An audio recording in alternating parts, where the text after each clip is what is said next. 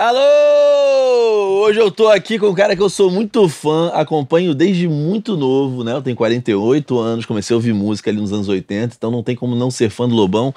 Meu querido, obrigado por vir aqui. de Clemente, hein? Quando eu te olhei ali, tu tá com uma cara de, de leveza, cara. Ah, eu tô, tô, muito satisfeito, eu tô num período muito legal, muito legal da Deu minha pra perceber vida. quando você entrou, assim.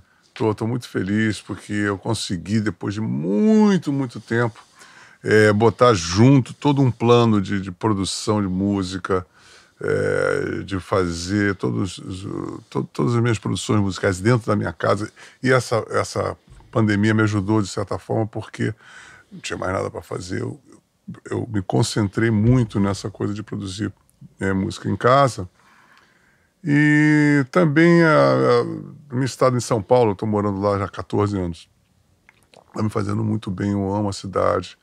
É, eu mo- a gente mora numa área super bucólica, isso também faz um tremendo bem para o meu espírito. Uma área de contemplação, pássaros, flores, árvores frondosas, é, caminhos bucólicos. Então, isso tudo está me fazendo muito bem.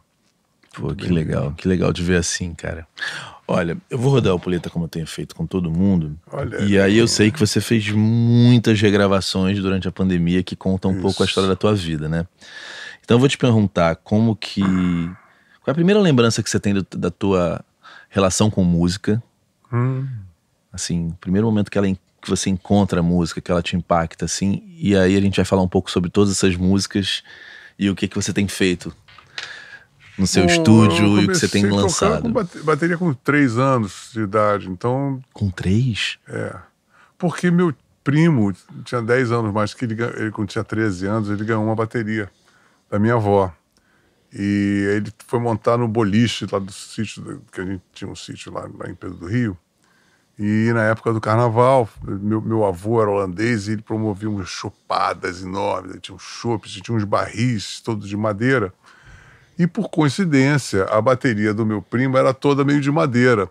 E eu achei que eles estavam montando barril de chope no boliche.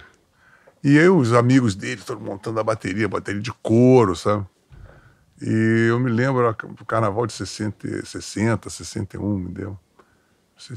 E aí tinha umas marchinhas de carnaval que eles botavam na vitrola.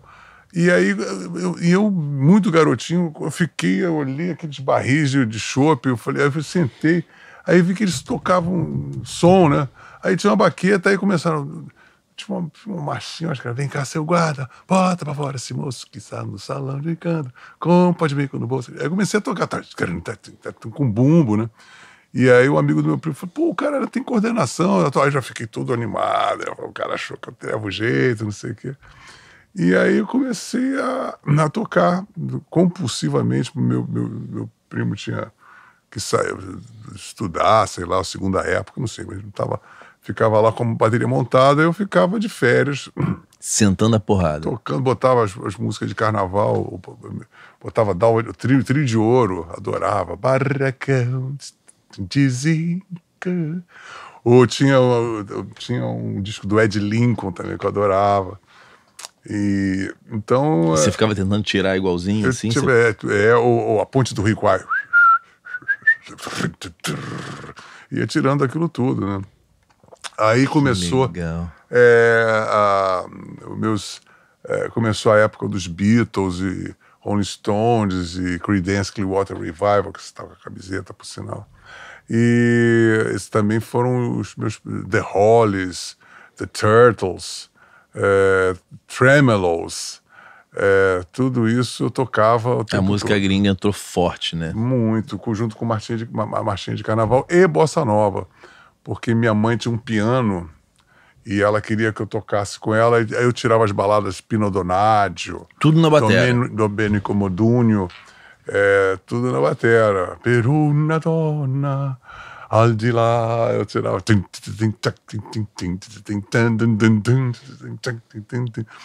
O Bossa Nova, né? Tirava muita Bossa Nova também. Mas aí tirava no É, violão né, cara? ou tocava Não, na tudo bossa nova. Milton Banana. Eu tirava as coisas todas do, desses baterias. João Palma, esses caras da. da Autodidata total. Sim, sim, sim. Aí quando meu pai foi querer me botar numa aula, eu achei ridículo. O cara começou a tocar, eu falei, ah, que isso, rapaz. Eu tinha seis anos, já estava tocando já há muito tempo. Falei, não, não, não, não, não é assim que toca. Não, porque bateria é feito para acompanhar, você toca muito alto. Eu falei assim, mas é que eu gosto de tocar. Eu já tocava The world is treating me bad, misery, tum, tum, tum, da, da, tum, tum, ah, E aí meu pai, não, então você tá tocando muito alto, vai ter uma aula. Aí o cara era da velha guarda, eu falei, o senhor tá parecendo que tá ilustrando a bateria, eu tô, tocar alto.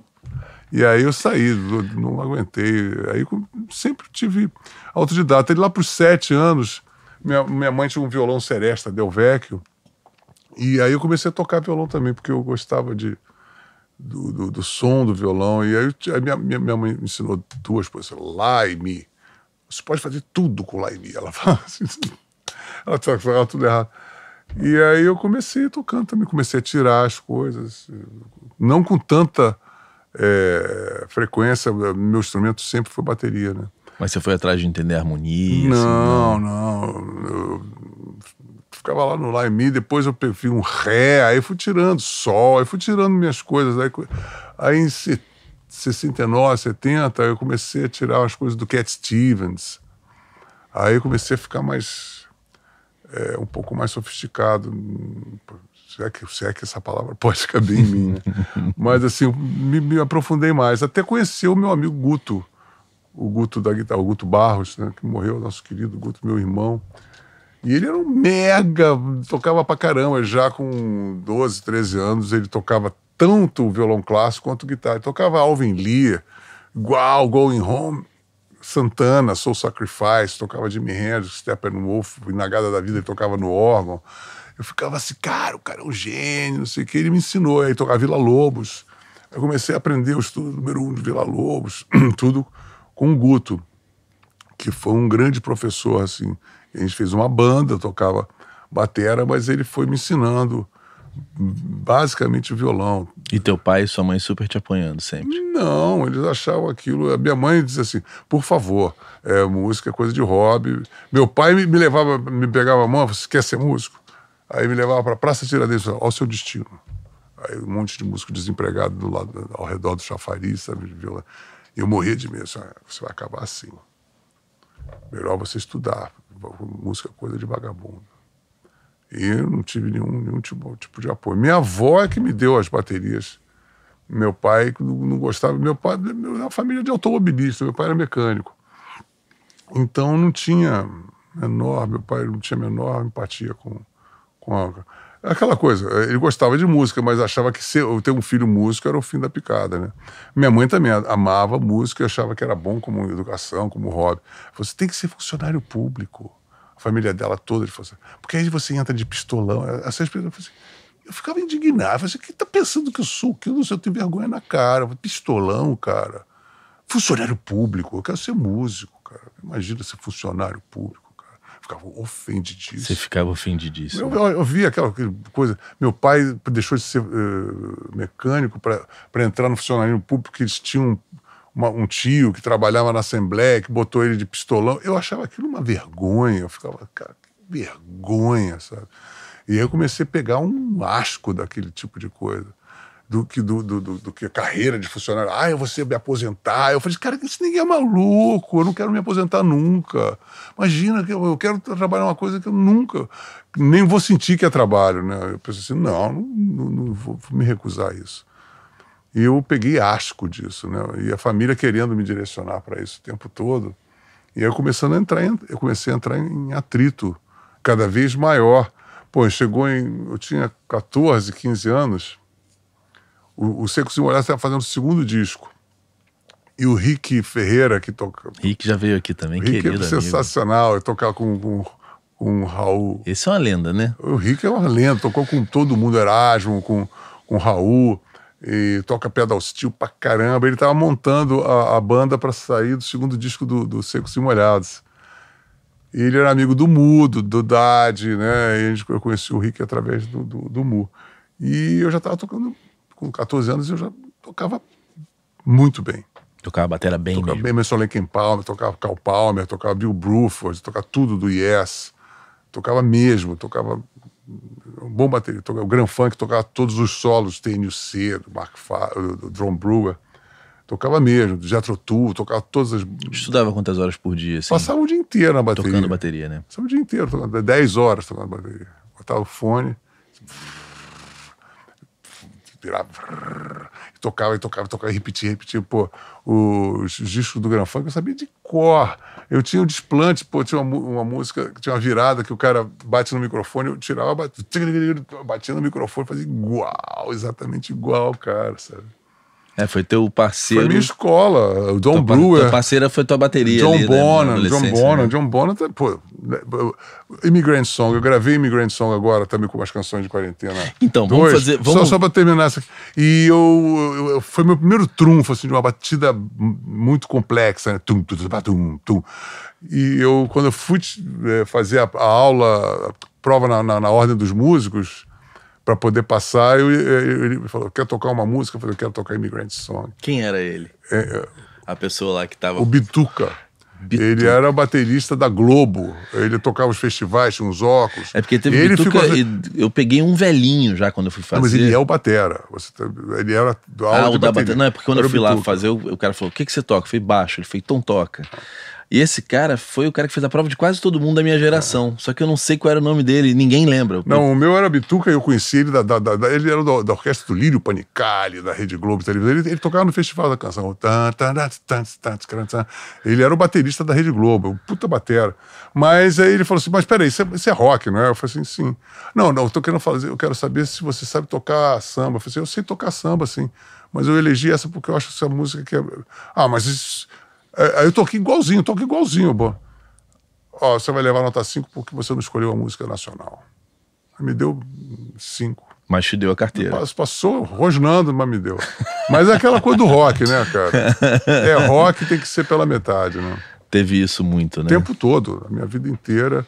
Eu tive ontem na Rádio Fluminense, nós estamos fazendo essa comemoração da Rádio Fluminense, Luiz Antônio Melo, teve o Arthur da Pieve, o Marco Sabino, Estava toda a galera lá. E eh, a gente discutindo sobre isso. O, o, o, o Luiz Antônio Melo falou assim: Rádio Fluminense ter, saiu do ar, saindo do segundo lugar para primeiro lugar de audiência, e sem um anúncio, porque ninguém queria patrocínio para uma rádio de rock.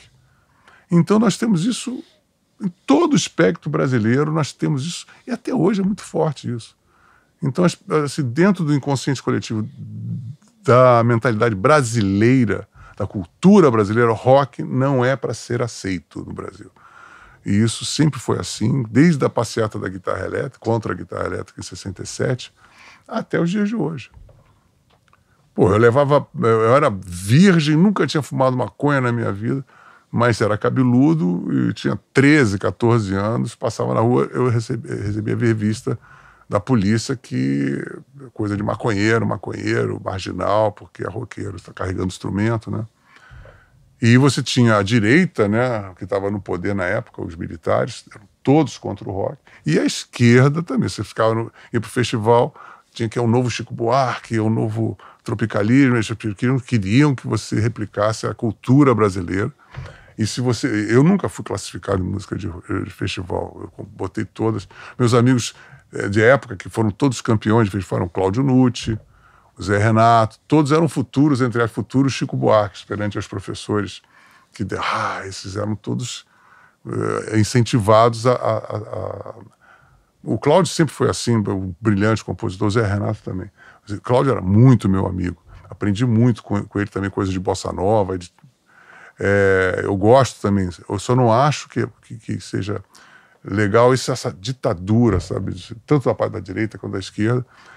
Tem uma coisa que, que eu acho que um antropólogo ou um sociólogo ainda vai estudar e ver por que essa, essa, esse fetiche negativo em relação ao, ao rock. Muitos dizem essa cultura imperialista americana da esquerda, aí a direita essa coisa de maconheiro, gente que não toma banho, que é fedorenta, também tem essa. E o fato é que ambos os lados se, se unem para ter um, uma ojeriza, uma urticária é, estético, moral. Você acha que o rock nacional ali nos anos 80 foi um acidente de percurso? Não, foi um acidente um, e que foi devidamente é, drenado, porque você, não sei se você se lembra, toda a, a imprensa praticamente. Ah, esse é o último verão do rock. Não, o, não o, o rock brasileiro não tem mais gás para desse verão. Foram 10 verões. E cada vez os discos saindo melhores, com letras mais elaboradas, com as canções. As bandas melhorando, as tecnicamente. Bandas, e, e veio o Rock in Rio para acabar com a gente. A Bis foi uma revista feita para acabar com o rock nacional. Então a gente teve que lutar o tempo todo. Tem um, tem um artigo da Ana Maria Baiana, antes de tudo acontecer, fazendo uma tese explicando como é impossível. A, coisa do rock tupiniquim, a, a própria uh, nomenclatura já era uma coisa de, de roqueiro, tupiniquim, era uma coisa assim que, olha, os brasileiros fazendo rock.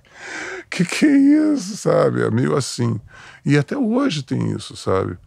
É, e isso o, a indústria fonográfica nos tratou como tal como uma sub-jovem guarda.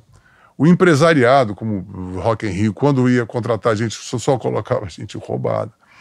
Né? A imprensa e a inteligência também torcendo o nariz, porque é, eu estava falando até com o Luiz Antônio ontem, assim, você já reparou que quem sobreviveu à minha geração acabou tendo, de uma forma ou de outra, que dá-se uma brasileiradinha, ficou mais tribalista, ficou mais Marisa Monte, ficou, porque senão você você não tem, você não toca no Sesc, você não consegue tocar.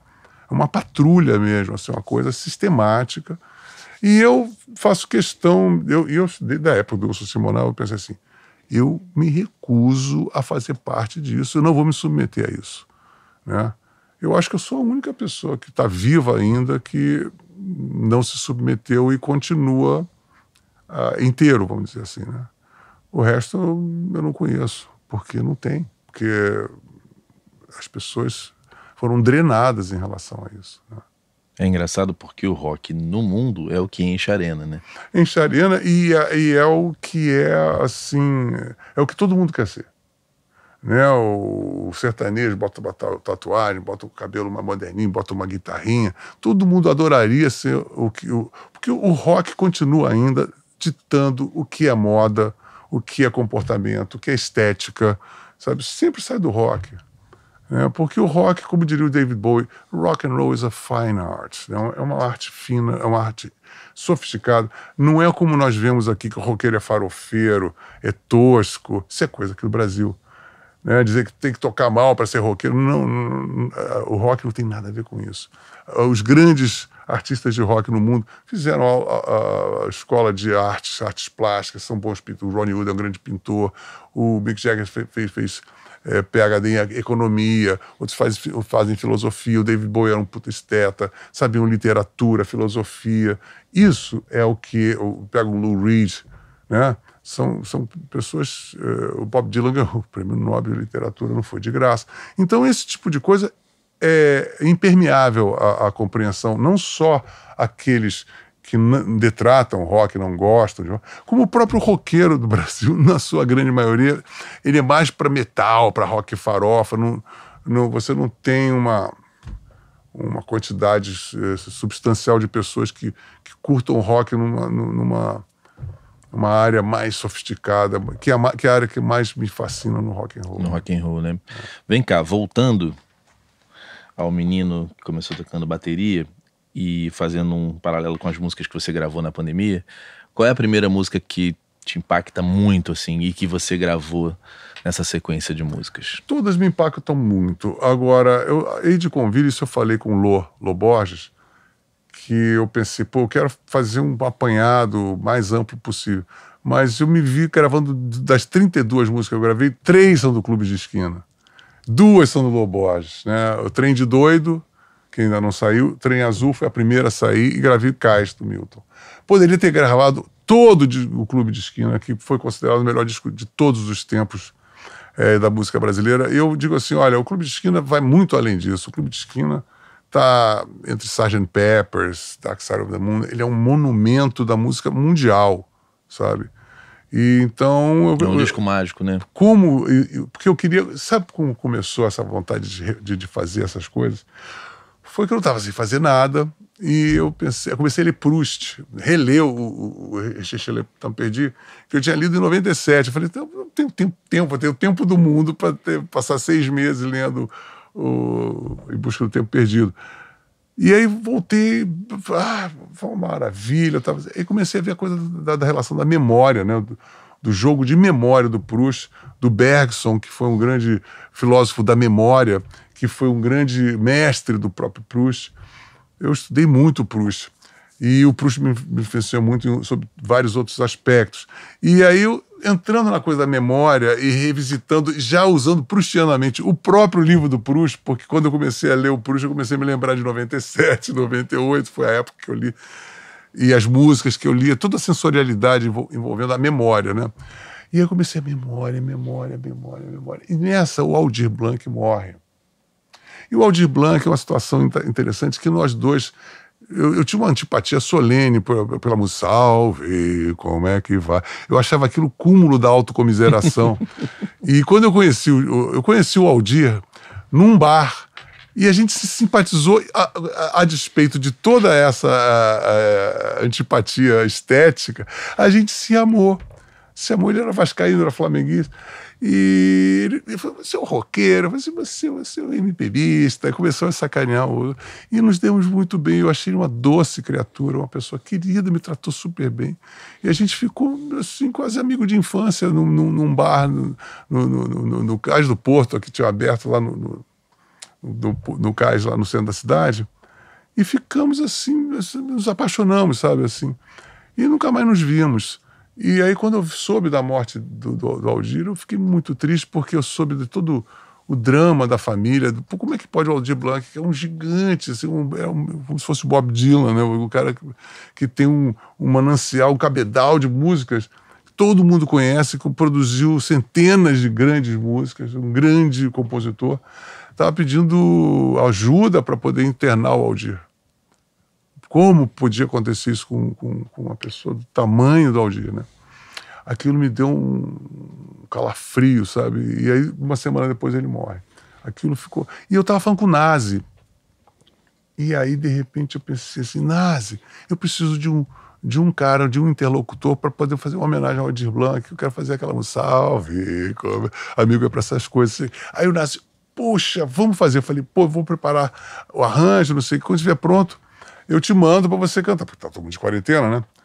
Ah, mas eu não sei mexer nisso, não. Você tem que me convidar para o seu estúdio. Eu falei assim, pô, mas eu não vou convidar você, porque agora você não vai botar meus seus perdigotos no meu microfone de jeito nenhum. Você vai ficar lá até a segunda ordem nessa quarentena. Tudo que não podia era cantar no microfone. Não imagina, imagina. né? Canta no seu microfone, no meu. É, tá todo mundo morrendo de medo. Eu falei assim, então vamos esperar, vamos esperar. Nessa que fiquei assim, pô, mas eu não posso gravar essa música agora. Eu falei assim, mas eu, a memória, Proust por que, que eu não faço um projeto, já que eu quero aprender me, me, mexer estúdio, em vez de ficar compondo, que dá um trabalhão, você pega a música pronta, você vai tirar o som com muito mais facilidade, vai ser uma atrás da outra. Ah, vou fazer um projeto de memória, da memória da minha infância, da formação, e vou prestar um tributo a toda a formação das músicas, por causa do Aldir Blanc, poderia ter optado pelas internacionais, mas o Aldir Blanc me fez fazer. Não, vou fazer homenagem à canção brasileira, já que eu sou um, um grande detrator da música popular brasileira, vou mostrar a todo mundo o meu amor e o quanto eu conheço disso, né? Tocando todos os instrumentos. Pô, eu falei, então, já que eu vou começar, vou começar pela minha predileta, vou começar com o Trem Azul. Como foi que esse disco chegou até ti, assim? Qual foi o momento exato? Do, do, do Clube de Clube esquina? esquina? Eu fui na loja e comprei assim que saiu. 1972. É, eu sabia que eu tinha comprado já o, o, Milagre dos Peixes. Você já era fã dos mineiros ali? Ah, sim. Eu já tinha o, os discos do Milton, do Som Imaginário, né? Eu adorava também o Zé Rodrigues. Eu quase aprendi bateria com Robertinho Silva, que era na época do Som Imaginário, também tocava com o Milton. O Fredera, né, o pessoal do, do, do Som Imaginário, então, o Beto Guedes, aquele pessoal todo, eu achava o máximo. Porque eu achava que era, um, era, era parte da música brasileira que mais respirava uma música internacional, tinha uma e coisa respirava de rock, mesmo? Beatles, tinha muita coisa, e respirava mesmo. E misturava isso de uma maneira brilhante, porque não era uma cópia, pelo contrário, uma coisa altamente original. E eu tive um amor incrível, talvez seja o disco brasileiro que eu eu ouvia, eu, eu ouvia antes de ir para a escola e depois de ir para a escola eu pegava o lado A, lado B, lado C, era um disco duplo, tá? lado B. E ficava ouvindo só o lado A, lado, depois lado B, B, B, B, C, C, C, C, D, D, até furar, sabe? Então, conheço o disco na palma da minha mão. E foi, acho que foi o disco de música brasileira, tirando mutantes, eh, incluindo mutantes, tetos, rock, tudo. Eu nunca ouvi, nem só. Talvez tenha, um disco, tenha sido um dos discos que eu mais ouvi na minha vida. Né? Esse, o Close to the Edge, o Lamb Lies Down on Broadway, são assim, discos que eu ouvi 500. A Roberta Fleck, também adorava a Roberta Fleck, música negra americana. Então, ele está ali num, num, espaço monumental dentro da vida cultural brasileira, como da minha, meu DNA, né? E eu, como eu devia ter o quê? 14 anos, quando saiu, 72, né? 14. Então, eu ouvi, eu vi 72, 73, até 74 eu ouvi todo dia. Muito, muito. Dois muito. anos inteiros, assim, premiando minha imaginação, é, me emocionando profundamente, vasculhando os comentários do Wagner Tito. Eu boto no final tá, o comentário do Wagner. E eu mostrei pro, pro, pro, pro Lô, e eu falei assim: ó, de autor para autor, eu detesto quando o cara vai. Vou fazer uma versão, vou fazer uma releitura. Acaba com a nossa mãe. Ele fala, ah, eu falei, ó, eu fiz o seguinte, eu, eu botei o, o solo do, do, do, do Tony Horta, é o mesmo, exatamente igual que ele fez, só que eu fiz uma viola caipira. Então a, a música, ela, ele falou, não, a, a, vibe é intacta. Eu falei, ah, que bom, que bom, que bom. eu não queria. Tem gente, ah, você não mexeu, você não mexeu quase. Eu falei, eu não queria mexer. Eu não queria mexer, é uma obra-prima. Já teve alguém que gravou uma música sua e quando você ouviu, você ficou desesperado, assim? O João Gilberto. Eu cara, não é nada disso, cara. Não, é, a música não é calma, ela é aflita. E você tirou quem. Eu falei para ele, e cadê o refrão? Nem sempre se vê que era um absurdo. Ah, eu tirei porque eu não entendi. Eu falei, porque você me telefonou, eu te explicaria, ou tentaria te explicar, pelo menos. E chove lá fora faz tanto. Eu falei assim, não, é, é, é o, o, cara que tá falando tá, tá gritando, ele tá. Ele tá ele, com a Marina também, eu falei assim, Marina, a parte do refrão é para trás, não é para frente. Nem sempre se vê. Não, não, eu não, eu não tenho alegria nenhuma nisso. É nem sempre se vê. Não é, pode porque ser. A tua, a, tua, a, a, tua interpretação ali dá pra, de cara que aquilo tá, é uma aflição, né? É, uma, uma, uma música totalmente aflita, é, desesperada. Desespero total. Sabe, de solidão profunda, de angústia profunda. Mas então, a música pop tem um pouco disso, né? Não. Minha pequena Eva. Não, não, pelo amor de Deus. Eva é uma coisa horrorosa, né? Eva é, uma, um, é, um, é um palavrão sonoro, né? Me desculpa. não, porque essa música é sobre o fim do mundo, né? Mas não entendo, mas, mas, é, mas, mas, é uma música feita para estar por ter, ela não tem a, a, história de drama que tem, me chama. É uma música feita para tocar no rádio, pelo amor de Deus, é uma música radiotáxi, caralho. Porque fez, põe devagar, põe devagarinho, que é pra não machucar. Porra! Depunha contra o rock and roll. Né? Minha pequena Eva, pequena caralho. Uma porcaria. Desculpa, mas pô, só tô falando isso porque você botou do lado de, de, uma música como Me Chama, pelo amor de Deus. Não tem nada a ver. A música Me Chama não é pop. Ela é uma música que transcende, porque eu nunca fiz para tocar no rádio. Essa música é ela é uma tragédia humana. Ela não é uma música pop. Tem isso. É que a galera do pop pegam músicas e né, ressignificam, às vezes tem essas coisas, né? Não, mas você, você entende quando a música é feita é, de uma maneira espontânea, quando ela é feita para tocar no rádio. E o caso de uma e de outra são evidentes, né? Como a Pequena Eva, como me chama, independente do, do intérprete, independente de quem assassine a sua a, música. A minha música. É, você vê, só do João Gilberto gravar já, né, já mostra um pouco. Não mostra nada, sabe? Eu, eu, eu, sinceramente, eu adoro o João, mas eu acho que o arranjo do Valtel Blanco é lindo musicalmente, mas é totalmente inadequado, sabe? É, me causa aflição. Eu, eu, eu tenho aflição de ouvir meus próprios discos porque são muito mal gravados. Mas me chama, apesar do cara ter esquecido de gravar os pratos porque estava bêbado e não ligou o canal, me chama na minha gravação. Tem isso? Então, a gravação é um lixo, né? Mas a interpretação é adequada. A interpretação da banda, a levada, os ralhentandos, a minha interpretação, o solo do Guto, tudo isso faz da minha versão, cuja gravação é um lixo, a versão definitiva de Me Chama. Nada, super, nada suplantou até agora e provavelmente não haverá de suplantar, porque ela foi na veia, porque ela respeitou que a dramaticidade e a tragédia que a música exala. Né? E isso não aconteceu com a Marina, isso não aconteceu nem com o Nelson Gonçalves, que também adorava, mas não aconteceu com o João Gilberto, não aconteceu até agora com, com nenhum outro tipo de regravação que eu tenha ouvido. E quando você foi regravar essas músicas do Clube da Esquina, você teve esse respeito, né? Sim, exatamente. Isso. Mas aí, conversando com o Lu, eu falei assim: eu não sou intérprete, eu sou autor. Eu, quando estou é, é, pegando uma coisa, eu vou tentar entrar como um eletroencefalograma da alma do autor e respeitar todos os anseios desse autor. Por isso que eu, eu sei que eu não sou um intérprete, vou, fazer a minha versão. Não, não, não. Eu estou tentando ver o que, que o autor quis fazer, respeitar o arranjo original, respeitar a angústia original desse autor e o drive estético desse autor. Senão eu vou ser um intérprete. Eu não sou um intérprete, eu sou um compositor e eu sou um esteta. Eu não sou um intérprete. Eu estou fazendo como compositor. Isso é minha. Olha, eu virei um compositor porque eu ouvia essa música desse jeito. Então eu fecho os olhos, tento tocar e tento me lembrar, através da minha música, da original. Então, assim, ela só vai funcionar se ela for muito parente da, da, da original. For irmã gêmea, quanto mais siamesa, melhor. E ele ouviu e achou que ele curtiu. Se emocionou. Pô, vamos Se ouvir emocionou. essa? Vamos ouvir? Vamos sim. Ela, eu fiz um trabalho de, de, viola de caipira, botei um. Eu falei, ó, a única inovação que eu, que eu botei nessa música, Lô, eu botei um vibrafone e só. E respeitei as viradas do Robertinho, né? Tudo tu, tu tá, tá ali. A levada de baixo é praticamente a mesma. Eu tentei fazer assim. Só tirei o timbre para ver se.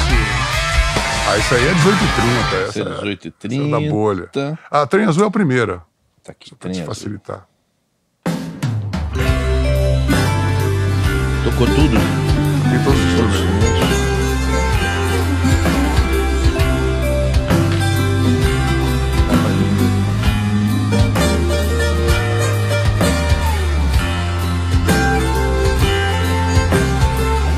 viola caipira, né? Mas é o mesmo, mesmo, mesma linha de guitarra.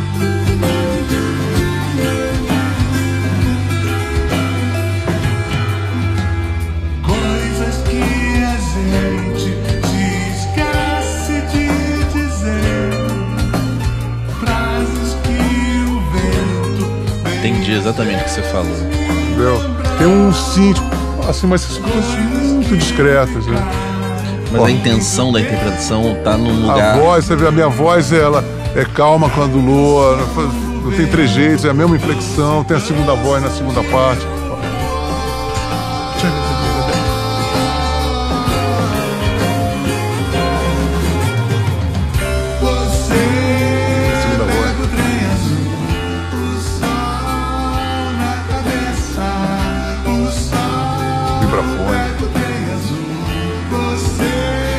Isso te salvou na pandemia, né? Uh, rapaz, foi um santo, santo remédio pra alma, né?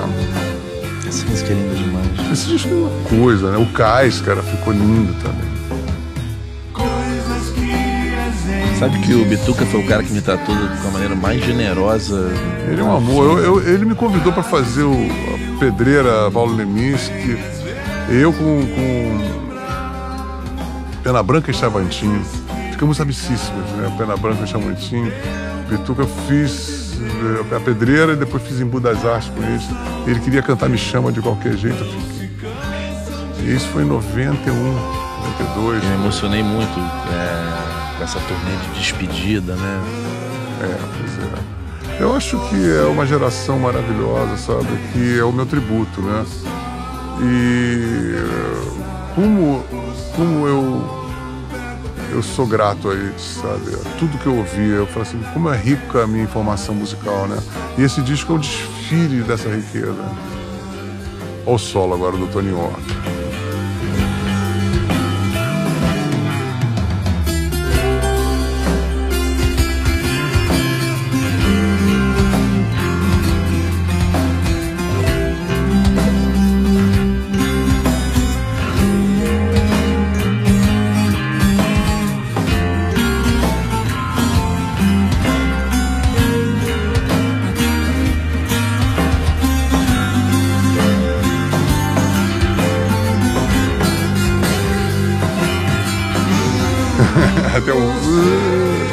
Super lindo, cara. Entendi exatamente o que você falou. Né? Você vê, eu mantive toda é a sua versão, mas estrutura. é, é- não é respeito só à canção, é respeito à atmosfera daquilo. né? É, ao espírito da canção, a- a- a- ao estado de espírito da alma do compositor. Porque ele estava viajando nessa onda, com certeza. Eu tenho que perceber a viagem desse cara. O que levou a ele ser onírico, o que levou a ele ser plácido, o, a- a- ao que levou ele ter uma emoção é, cheia de horizontes, é, topografia da alma, sabe? Então é, uma, é, é uma, é um exercício de alteridade, de você tentar entrar na, na, na- na alma de um colega seu, de um colega de, de ofício. E um ídolo, um herói. E um cara que Aí te é uma ensinou melodia de que certa não dá pra forma. mexer nem nada, né? Não. Ó, o, o- comentário do Wagner Tiso. Pera aí. Deixa eu te perguntar uma coisa, Ah. com curiosidades minhas, né? Essa geração de fato bebeu Beatles ali? E por que, que Ah, aconteceu essa gera- ali? Porque Não, aquilo, ah, o que acontece ali é muito especial, né? Porque era uma rapaziada mais jovem, porque o Milton é um pouquinho mais velho do que o Lô, do que o Beto, né? Esse rapaziada estava na flor da bitomania, do rock, da lisergia, né? Então esses caras beberam muito nessa fonte. É, E eu soube de uma coisa que eu só soube ontem. Eu não sei se vocês sabem. Você sabe que o Clube de Esquina começou, sabe aonde? Em Niterói. É mesmo? Eu soube disso ontem, através do nosso querido Marcos Sabino também, que estava na mesa. Ele falou: não, vai ter inclusive uma grande comemoração agora de 50 anos do Clube de Esquina, que lançou. E você sabia que o Milton Nascimento alugou uma casa aqui numa, numa região que ele falou que eu não me lembro. Chamou o Beto Guedes, chamou o Lô Borges, o Márcio Borges, e ficaram aí. E fiz- compuseram o repertório todo nessa casa, em Niterói. Ah, que legal. Falei, mas que interessante, não sabia disso. E esses caras realmente faziam bailes, muitos bailes lá em Minas Gerais, e bailes já de rock, né? Então, eles, todas essas, eh, eh, essas influências de rock, muito Beatles, né? Stones e lisergia, muita lisergia. Você vê o Trem Azul, é coisa muito onírica, né? Eh, os discos do Milton daquela época eram muito lisérgicos também. Muito, é lindo demais. E com o Milagre dos Peixes, é um disco maravilhoso que eu tinha. É, esse eu acho que talvez da MPB é o meu disco Tida MPB. Pra Esse mim é o meu disco. Mas é, é- você vai, é, é a ironia do destino, né? É um disco que tem muito. Dos Cruces é uma música maravilhosa. Tem São Vicente, quer dizer, você tem, tem todas as influências latino-americanas ali, tem a coisa de Minas absolutamente é, presente na coisa. Quer dizer, você tem uma ah, tem a coisa africana também muito. É, morena, quem tem pero.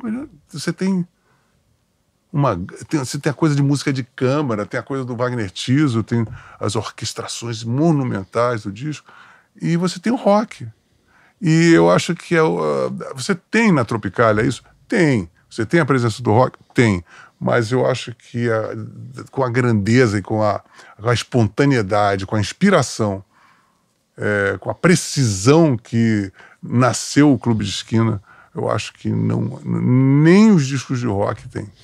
Como eu nasci em 73 e tudo isso eu fui buscar adulto, né? De começar a tocar, alguém falar, ah, você tem que ouvir isso, tem que ouvir. É uma experiência diferente, né? Você comprou o Real disco. time, é na hora. É, ó, diferente. Eu consumi Beatles adulto. Ó, você tem que ouvir aquele. Então Sim. você já vai.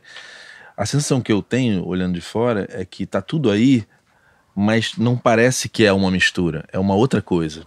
Então todas essas influências ali. Não, ele na nasceu uma Tropicália, outra a coisa. sensação é que tem a mistura. você vê o patchwork, você sente ah, ah, da onde veio a origem. Você entende a diferença? Sim, até porque uma coisa é uma colcha de retalhos. Outra coisa é uma coisa pronta e uma- com uma unidade. Você Exatamente. quer dizer isso. Esse disco tem uma unidade Com de toda estilo. a riqueza que, a- que Não, uma concha de sim, retalhos sim, não, talvez, talvez teve. até seja uma questão de conceito. Exatamente. Né? Mas, para mim, passa uma fluidez. É exatamente Uma isso. fluidez, uma naturalidade. Porque você não tem aí. eh, não sinto, quando eu ouço um disco como esse, do Clube de Esquina, tipo assim, ah, eu vou botar essa pitada de coisa aqui, eu vou botar essa pitada de coisa ali. Não. A coisa sai toda inteira, integral e, e muito muito hum, telúrica, muito genuína, muito, muito, natural, sabe, de sair. E eu acho que a grande força nesse disco é justamente ser essa unidade, essa inteireza. E é uma coisa mais linda também que tem, além dessa unidade, do, do Milton abrir para o clube, abrir para os seus parceiros. E é um disco de turma. Disco de turma. É um disco de turma, onde eu estava falando com o Lô coisas que eu não me lembrava. Por exemplo, qual foi a música? Ah, é o do Trem de Doido. Os ratos mortos na praia. Aí eu falo assim, pô, gravei Trem de Doido, preciso gravar Trem de Doido. Ah, não sei o que eu faço, me conta. É, pô, mas aquela guitarra... Não, é que sabe o que que é? Essa guitarra não é o Toninho Horta que gravou, é o Beto Guedes. Falei, foi o Beto Guedes fez aquele solo. Falei, cara, ele tem uma distorção lá que eu não sei tirar aqui. ó.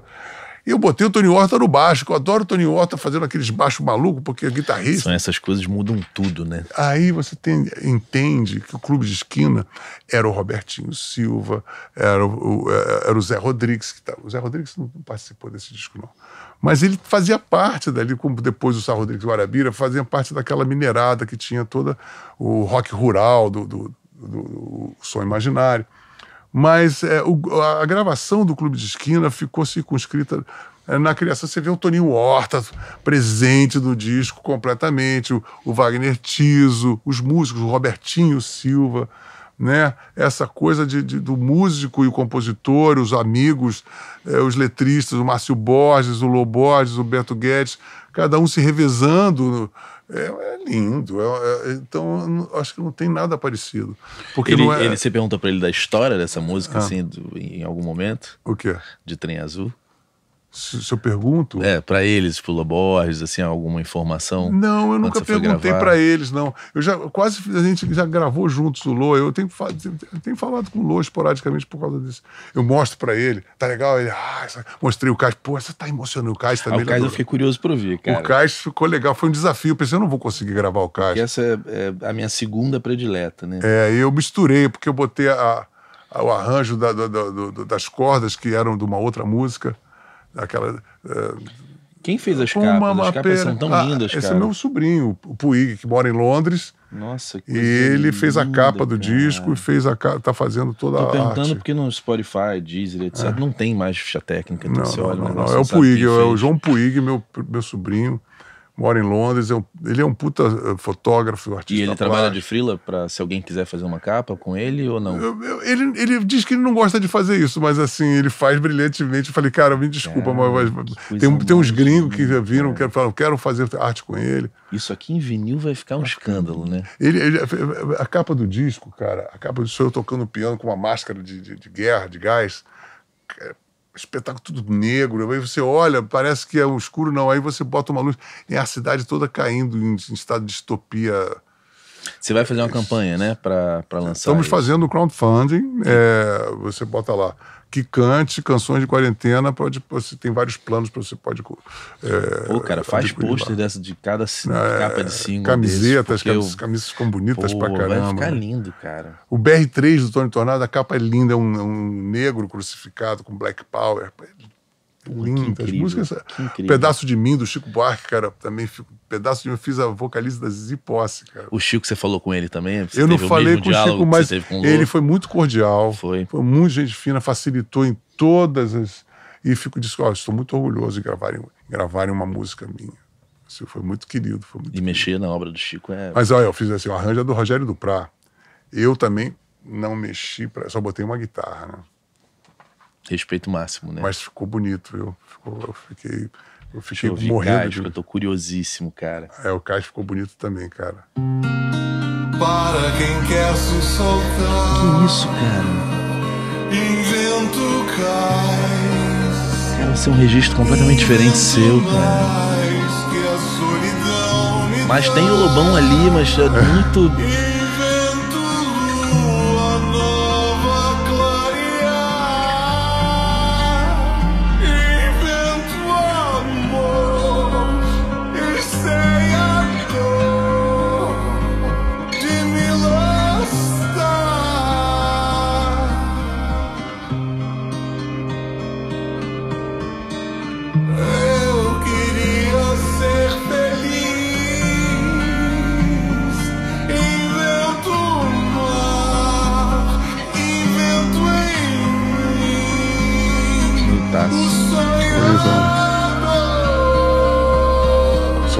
ficou legal.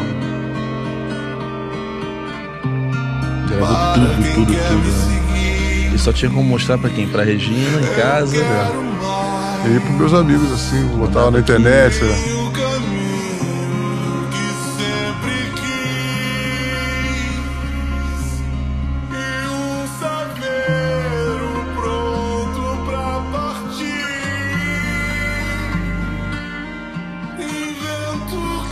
Imagina o processo criativo coletivo desses caras nessa. Agora que eu vou fazer uma pequena adulteração, quer ver nesse final? Ó,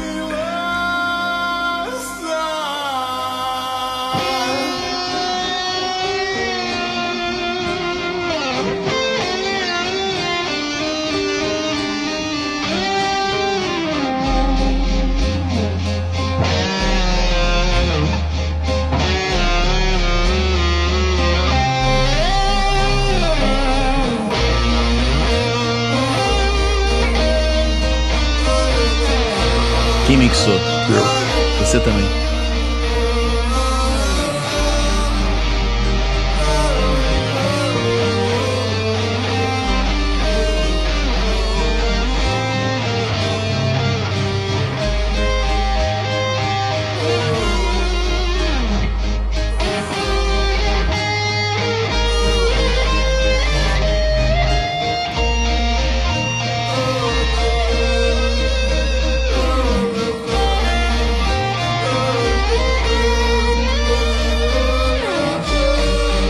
maluco, cara, porque você conseguiu manter o que tem de, de mais Essencial, né? importante e tem você ali, né? É, é isso aqui. Mas é, tem no- na, no- no- na, na quantidade média- certa. É, é esse aqui é, é o equilíbrio do final, assim, é, me requereu muito é, o que eu aprendi na, na cozinha, que é Você hoje é um bom cozinheiro? Eu sou porque eu, eu faço analogia tanto para mixar. Quando eu acabo de mixar, eu sempre faço um bom prato depois. Porque eu não vou exagerar no sal, eu não vou exagerar na pimenta. vou- os temperos vão ficar todos equilibrados, mixados. Né? Então você tem uma correlação de analogia, que eu, eu sou como autodidata. Eu penso assim, bom, se isso aconteceu assim, pô, é proporção. Mixagem é proporção né? Tanto para frente, para trás, para os lados, para todos os lados. Então você usa a proporção também, cozinha a proporção, né? Então você não pode deixar super salgado, não pode faltar o sal, você não pode deixar muito seco, você não pode deixar mal passado, nem bem passado. É tudo proporção. Esse teu processo de mixagem sozinho em casa na pandemia foi assim, de fazer de uma vez ou aquela coisa que você faz? Não, tem 530, 530 depois mil põe, recalls, não, né? Põe, não, aí eu ponho, ouço no equipamento, ouço no equipamento. Depois passa um dia, não, mas está faltando isso. Aí vou, aí refaço, refaço, às vezes regravo tudo outra vez. E o teu processo se cobrando como o mixer é parecido com quando você cobrava? É, ah, um sim, mas, mixer? é, assim, mas assim, é, eu, eu só descanso quando eu, eu me, me emociono. E demora, demora muito. Até eu levantar minhas, meus braços e dizer, uau! Poxa, demora hum, às vezes meses. Eu todo dia voltando lá. Tentativa e erro. Tentativa e erro. Mais pequenos recalls ou começava do zero de vez em quando? às vezes começava do zero. Né? Essa, essa, essa parte final aí, eu refiz ela toda. A voz, eu botei 500 vozes, até ela ficar do jeito que eu achei que era. Ah, não, não vou mexer nessa voz. Quem mixou o álbum do Clube da Esquina? Cara, sabe o que eu não sei? Eu tava vendo. No outro dia eu fui passear com ouvindo. Na semana passada. Botei, fui falei, cara, que belos discos. Que, é, é, ao contrário da maioria dos discos brasileiros, é é arrojado, o som é arrojado, tem efeitos, tem reverb, tem delay, tem um monte de maluquice. Mas eu não sei é, assim, o nome do, do- do produtor do disco, por incrível É porque pareça. esse canal, cara, eu tenho trazido. Não, eu também você tem eu, razão. eu- eu tô esperando não- até agora a hora dos engenheiros de som. eu eu nem quero trazer sei todos como eles. eu, assim. eu, eu não, eu, eu- eu não me acerquei disso. a- a- a- conhecendo tanto o disco, eu ainda não sei. E eu não tenho ele créditos. mais em vinil, então não. É, não- eu também. O problema, o problema é esse, porque no, no Spotify, ou você mesmo. Essa pessoa merece uma grande homenagem. né? Grande homenagem. Eu vou fazer o seguinte: se Um eu- grande- se eu, eu- eu vou botar na internet, a gente descobre. Se eu trouxer a pessoa que mixou aqui, tu topa vir? Poxa, mas vai ser uma Vai ser um papo cara. incrível, Isso né? é uma De faixa a faixa e lembrando como que foi gravado e Maravilhoso, mixado. vou aprender muito, vou aprender É, a muito. gente Por exemplo, a guitarra do, do, do. Beto Guedes no Trem de Doido, eu tirei o solo todo. Você gravou Trem de Doido também. Mas ele não tá aí, eu acho. Não tá ainda? Não tá, não- ele não foi lançado ainda. É, deixa eu ver se eu tenho ele aqui, assim, né, nas internas, né? Não, mas espera pra, pra lançar. É, eu não posso. Vem cá, esse disco você compra com 17 anos, é isso? Com o quê? ah, o, o, o, O Clube da Esquina. tinha 14. 14. Das que você é, resgatou nessas regravações, qual é a que é mais. Você mais jovem, assim? Tem alguma que você. O que, que você descobriu mais ah, cedo? mais cedo. Ah, tem uma que eu acho maravilhosa. Que, tá do Lourdes Duran. Que essa daí eu, eu, eu gravei só eu com o piano e eu, eu, fiz um arranjo de orquestra que não existia, né? Qual é o nome da canção? É, Meu Castigo. Castigo, Castigo. castigo, castigo. Castigo, castigo. Tô aqui procurando o que. Deixa eu ver aqui, se eu conheço mais a ordem. Adormeceu, Soluços, Tarde Itapuã, Rock Roll, não. Ah, sabe por quê? Aqui tá. Acho que não entra na ordem, sabe? Não. Essa música também. Você conheceu essa música em que momento da tua vida? Eu me, é, eu me lembro do meu pai, ele, ele- ele era mecânico, então ele, ele tinha três dedos, um- ele não tinha um dedo, não tinha outro defeituoso, tudo de mecânica, né? Então ele não conseguia tocar. Ele tomava um copo de vinho, ficava meio melancólico, aí pegava o violão da minha mãe, aí ficava com sotaque de alemão, aí ficava A gente briga, diz tantas coisas que não quer dizer. Aí eu aprendi a cantar, porque na época, eu acho que no, no- final dos anos 50, início dos anos 60, era, ela tava um hit, essa música, né? E eu aprendi através do meu pai cantando de deboche. Ele tinha esse sotaquezão assim quando Ele, bebia? ele, ele fi- ficava fingindo que era um alemão, um cientista maluco, né? Aí ele ficava, de, ficava com sotaque de alemão só pra fingir que era cientista. Aí tu fazer um samba canção era a coisa mais insólita possível, né? Ainda mais um cara que mal sabe ficar. Não saía nada de som. Eu achava aquilo engraçadíssimo, né? Aí depois eu falei, mas espera aí, isso existe? Aí eu comecei a ouvir no rádio, aí eu comecei a ficar apaixonado pela música, né? Pô, coisa linda, cara. Aí eu fiz o arranjo de orquestra dela toda, foi. Também a capa da mesma É, pessoa. é a mesma pessoa, João Puig. Pô, desenha pra caralho, né?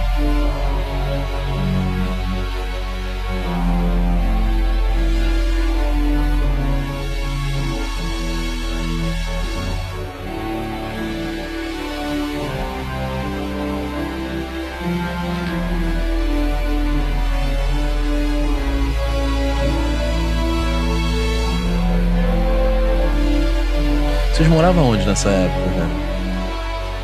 Quando eu conheci essa música, É. em Copacabana, na Souza Lima. Era casa? Não, era um apartamento. Eu fico imaginando você tocando bateria o dia inteiro nesse Não, eu, apartamento. eu, eu to- tocava na, bateria, na casa da minha avó materna, Que era casa. na Sadoc de Sá, uma casa. não quer dizer. Briga pensando que não vai sofrer, que não faz mal se tudo terminar. Um belo dia a gente entende que ficou sozinho. Bem à vontade. Memória afetiva é um negócio muito louco, né? Incrível, né? Isso aí foi uma viagem, cara, sabe? Amorosa, né? Uma viagem amorosa. Ao teu passado também, né? forte. Ao meu passado e a entes queridos, literalmente, né? Assim como artistas. Foi isso é, são da, assim, uma, uma espécie de, de eu poder me comungar com uma classe que tem tantas eh, discordâncias, tantos atritos, né? E para um plano de, de relacionamento em que eu possa que eu possa realmente ter a chance de amar alguns que eu não tenho condição de fazer isso num plano real, entendeu? Num plano, vamos dizer assim, comezinho, eh, cotidiano, né? E fora os outros que eu sempre já nem, nem conheci, por exemplo, a Dolores, né? Um caso. Ou outros que Mas eu. aí vem o pai, né? que eu pude- Vem a, vem a casa. as É, mas eu. viagens, né? assim, mas aí tem o Cassiano, a e eu, que morou em- na minha casa, o Cassiano. Tenho o Pérola Negra, Mel- Melodia, eu, toquei, eu substituí o Luiz Carlos da Black Rio. Toquei com Melodia, que aprendi coisa pra Chuchu. Tem o Tim Maia, que é meu padrinho de casamento, que eu gravei a Sul da Cor do Mar. Então, Pessoas que eu não conhecia. Pessoas que- Eu vi que- aqui no estúdio. que eram, mas- eram meus amigos, né? Eram pessoas que viveram comigo, como, como o avô do Zé Ramalho. Eu substituí o Bezerra da Silva na, na Zabumba. no- o Zé brigou com o Zé Ramalho, o Calixto Nome, ele falou: Lobal, tô aqui no Teatro Ipanema, no último dia da turnê, não tem Bizobumba, traz um surdo de escola de samba. Eu toquei esse surdo de escola de samba substituindo o Bezerra da Silva. É, o- ele, ele, o- ele ensaiou todo o disco do Avô Raio na minha casa, o Zé Ramalho. Olha só. Então, eu gravei Avô Raio. É, Canteiros, foi a primeira gravação do Vimana, enquanto Vimana, eu não era do Vimana. É, quando penso em você, então gravei Eu sou Canteiros. apaixonado pela obra do Fagner ali dos anos Tá 70, entendendo? eu Então, assim, todas as, as músicas, as BR3, eu conheci o Tony, Tony Tornado, Antônio Adolfo Tibério Garfo. Eu via, eu vi BR3 na minha frente no Festival da Canção, sendo tocado pela primeira vez. Né? Eu fiquei apaixonado. Aí gravei BR3, que é um monumento Arranjo de quem? É meu.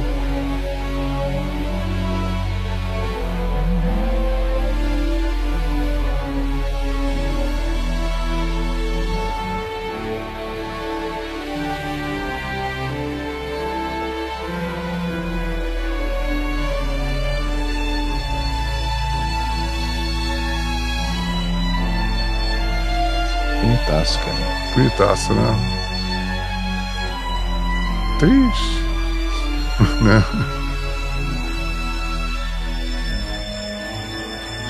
Meu pai tá com 72 anos e amo muito ele, né? E agora eu sou pai de um, de um molequinho de 11 meses. Ah, que lindo, cara. E Todos felizes. minha relação com meu pai não é por música, porque ele não é nada musical, né? Mas é por lugares, assim. Búzios vai ser difícil de. Aí você tava falando do seu pai, eu fiquei falando, cara, como que vai ser quando ele não estiver mais aqui? É, os lugares que eu. Como que eu vou me relacionar com as coisas que me remetem muito a ele? Você sabe? vê, ele não era na musical, mas eu, eu peguei uma coisa que ele fazia antimusicalmente, fazia por lorota, mas eu conheci uma música através disso, e através disso eu conheci uma música linda e acabei prestando uma homenagem direta ao meu pai através de uma coisa absolutamente subjetiva, né? E num momento do mundo estranhíssimo, que era aquele momento ali que a gente estava em casa, né? Pois é. Sim, muito louco. Vem cá, qual é uma, nessa ordem de tempo da vida do Lobão nesse momento, qual é a próxima que, que te impactou, que acabou parando nessa. Aqui, deixa eu dar uma olhada aqui. É a hora do almoço, de tanto amor do Alberto Carlos. Disparada. Disparada. Eu, eu tenho- disparada, eu me lembro que foi a primeira vez que eu comecei a ver São Paulo.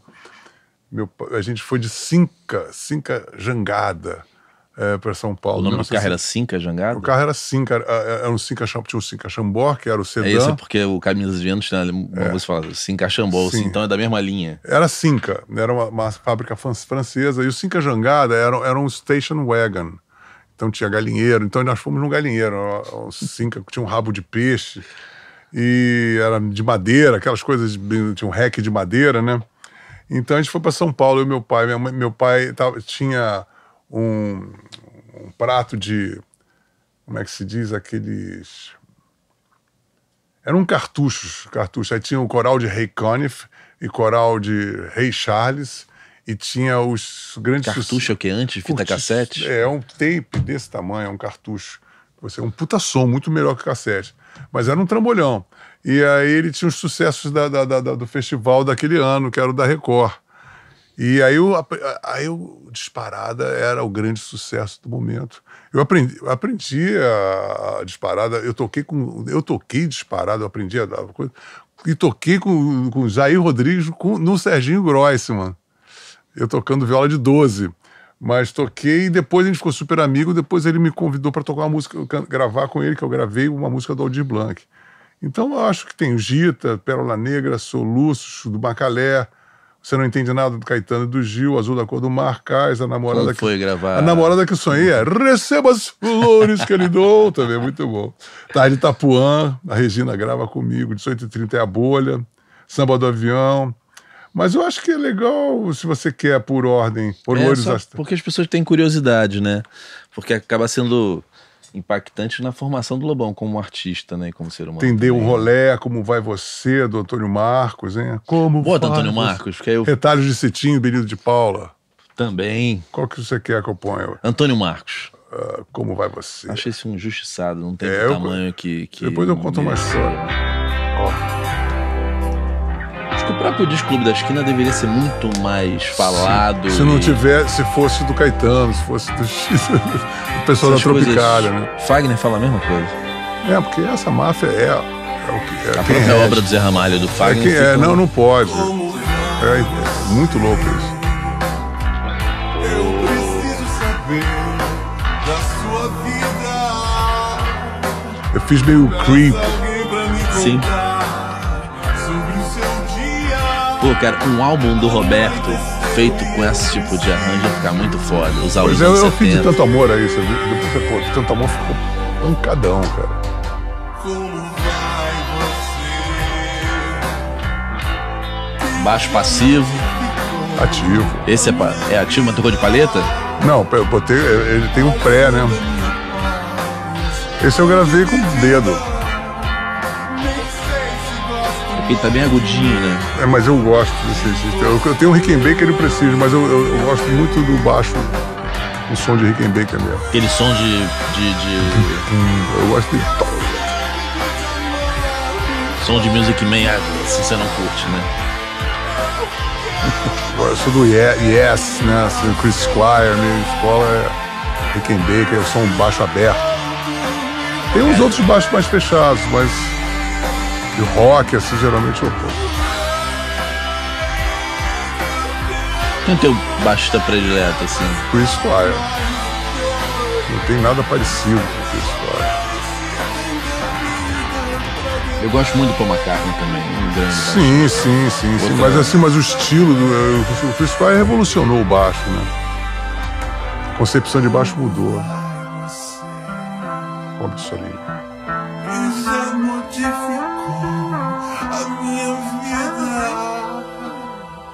Solo de baixo, pico.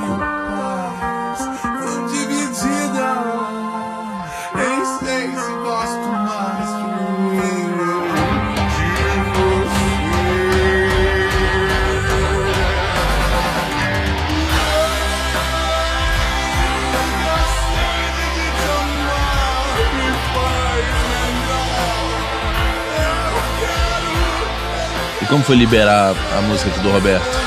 Às vezes é muito complicado. é, Essa coisa de, de- de editora, direitos autorais no Brasil, sempre é muito complicado. Às vezes demora, às vezes, às vezes você pensa que vai demorar e E é mais se rápido. liberam. Hein? É, às vezes é uma, é uma, uma loteria, sabe? E o Gil e o Caetano liberaram?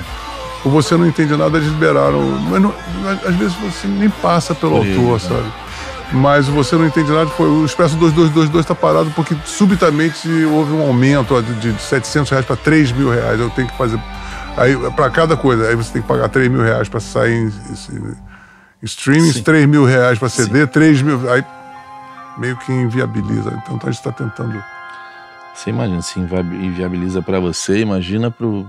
Pra não, mas é, eu quero saber se é uma independentes, medida pessoal também, eu não sei, né? Mas vamos ver. Por enquanto está aí parado, mas eu acho que vai ter um- uma boa resolução de tudo, no final das contas, né? É, você tá fazendo uma homenagem linda, né, cara, também, assim. Quer ouvir a do Chico? Pô, posso ouvir primeiro a do a Canteiros? Ah, sim, claro. Eu sou apaixonado por essa música. Quando eu, eu também com... adoro, adoro. E quando eu música. trabalhei com o Raimundo, cara, fiz a direção musical de um show, né? Não, eu, é apaixone- me apaixonei. Eu, É uma ele figura é um grande doce. amigo meu, É uma figura doce. doce, apesar dele. Vocês têm algo parecido, né? É, ele é um amor. Eu Ele- acho, eu- e ele é uma ele é, pessoa muito assim, especial, né? Um compositor É, incrível. um cara e com muita coragem, sempre Não, e teve, você né? vê, o pessoal, você sobe para o Nordeste, todos têm o Edinardo, encontrei o Edinardo, é, o, o Alceu, ou, O Zé, Zé, o Geraldo, o- Geraldinho. todos são bypassados. Vai um prêmio de música brasileira, eles têm, o Alceu, por que eu ganho re- regional? Eles não ganham MPB.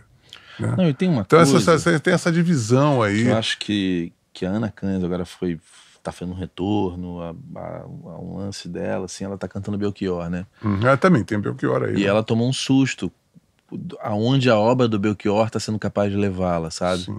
Não, elas têm uma dimensão que, é, obviamente, Se ainda você não tá foi. Rio São Paulo, você não entende a força desses caras. Não, é, pois, você vai para o Brasil inteiro, você entende. E não só a dimensão é, geopolítica da coisa, mas como a dimensão poética, ainda ela é muito circunscrita e muito pouco explorada, porque tem uma coisa da, inteligência, assim, os grandes poetas são aqueles ali da Tropical, e os outros são sub, e, e isso não é uma verdade. é. Isso não é, está longe de ser uma verdade. E tem esse estigma que nós temos, né? Como a gente estava falando inicialmente do rock, o rock é, são categorias, são castas, na verdade, porque você não pode mexer nessas castas. Você é regional, você não é regional, mas você quer ficar regional. Você é roqueiro, você roqueiro é tido como você fedorento, você toca mediocremente, você é, é colonizado cultural. E, e se você é daquela panela, aí você você fica chique, você vira MPB. E essa sigla de MPB, ela te dá um passaporte para uma aceitação cultural, né, eh, de dignidade intelectual. Se você não tem isso, você vai para pra, as bordas, né? É, e, você falando sobre isso, cara, é, o Raimundo. o- pô, Porque o quando a gente fala isso, as o Ramalho, pessoas acham que a eles gente tá vão a maluco. cidades que nenhum artista do eixo Rio São Paulo, você sabe disso. Claro. O Fagner pega ali. Oroz, Agora, e ele pega de ônibus e anda 18 horas de ônibus, então eles chegam em lugares que. o Alceu, O Alceu. o Zé Ramalho, todos eles. Eles vão mesmo. Não, né? vão porque eles são de lá, eles são da raiz e eles têm este suporte eh, natural eh, da terra deles. Graças a Deus, pelo menos tem isso. Agora, tem outros que ficaram lá no caminho de uma maneira muito. O Ednardo, é um grande compositor. E é uma pessoa que, na- é, por todas as razões do mundo, é muito magoado, muito, muito downgrade, né? Foi underrated demais. E quantos não foram? Eu acho O que todos Ja- eles têm uma O Jardim mágoa, Macalé. né? O Jardim Todos têm Macalé. uma mágoa, e o Macalé mas- que teve uma briga com ele, agora desistiu. Eu gravei Soluço, eu vi o Macalé toca- tocando Gotham City na minha frente, no Festival da Canção. Eu vi tudo isso na minha frente acontecendo, sabe? Ah, esse é o Jardim Macalé. Aos 15 anos eu nasci. Eu vi esses caras cantando na minha frente, cara. Soluços também é uma música que é muito importante para mim. Vamos ouvir canteiros. Vamos ouvir canteiros. Raimundo Fagner. Esse arranjo original é foda. E é do Vimana que gravou, né? Eu tentei também preservar. Porque o pi- pianinho. Ele tinha essa ousadia, o Raimundo? É o Vimana tocando naquela época, né? Quando penso em você, fecho os olhos de saudade. Tenho tido muita coisa, Você mostrou pra ele? Não, ainda não.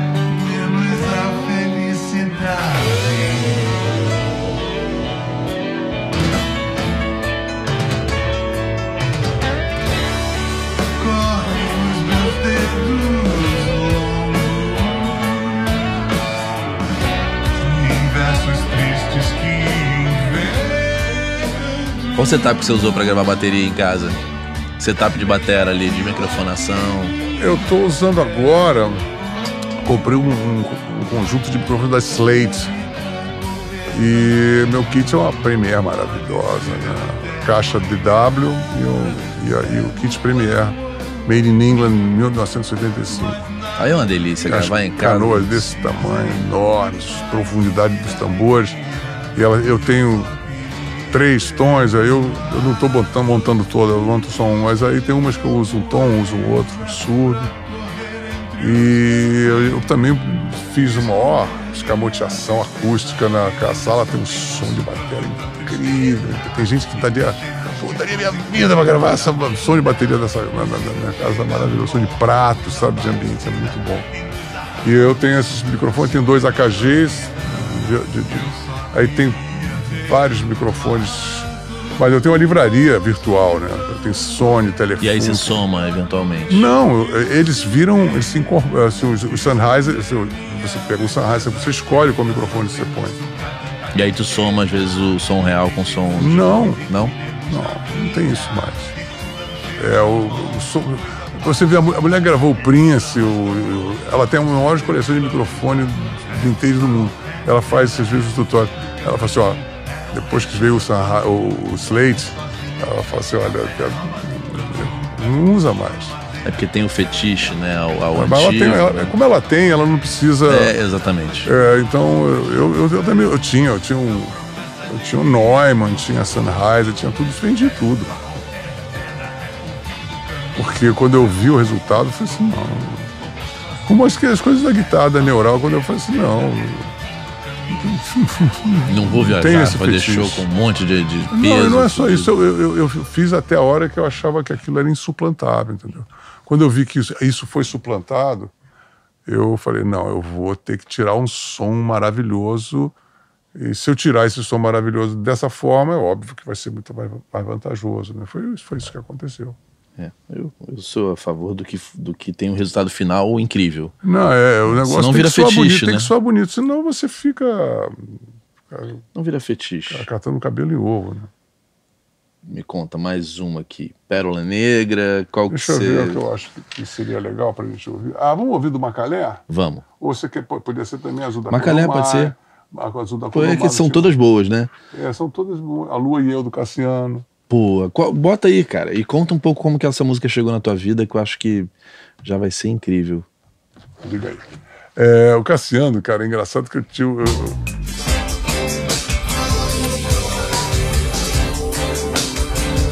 O Cassiano, cara, entrou na minha vida que eu- o, pessoal de Niterói, Paulinho Roquete, o Claudinho Zoli,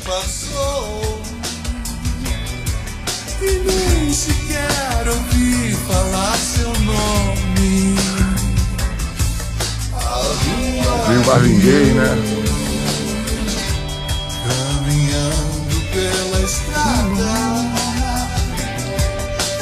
Você também? Eu volto e só vejo pegadas, mas não são as suas. Eu sei, eu sei.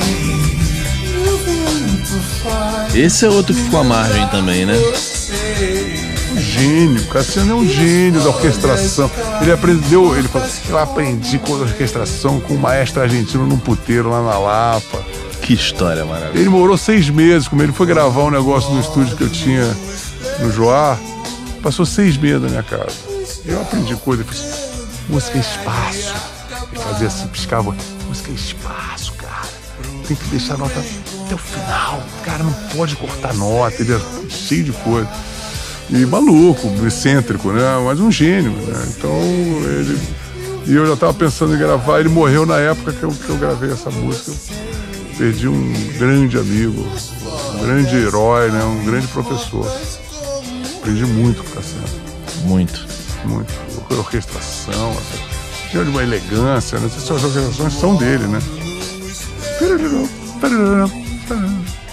É, como eu- é, um- é uma coisa que eu não acompanhei, assim, o porquê que esses caras não, não ocuparam o espaço que eles Mas mereciam, é- né?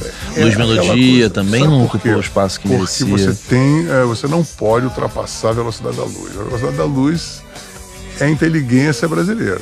É aquela rapaziada. Mas você acha que é- isso é racional?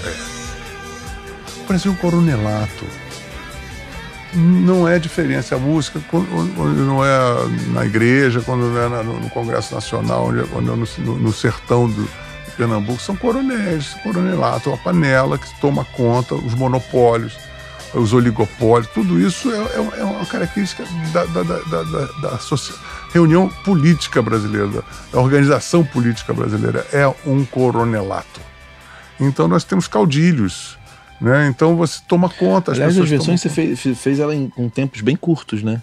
Eu fiz basicamente com a- a- o tempo de real, porque é, eu, eu- eu- respeitei o arranjo, a forma e o andamento.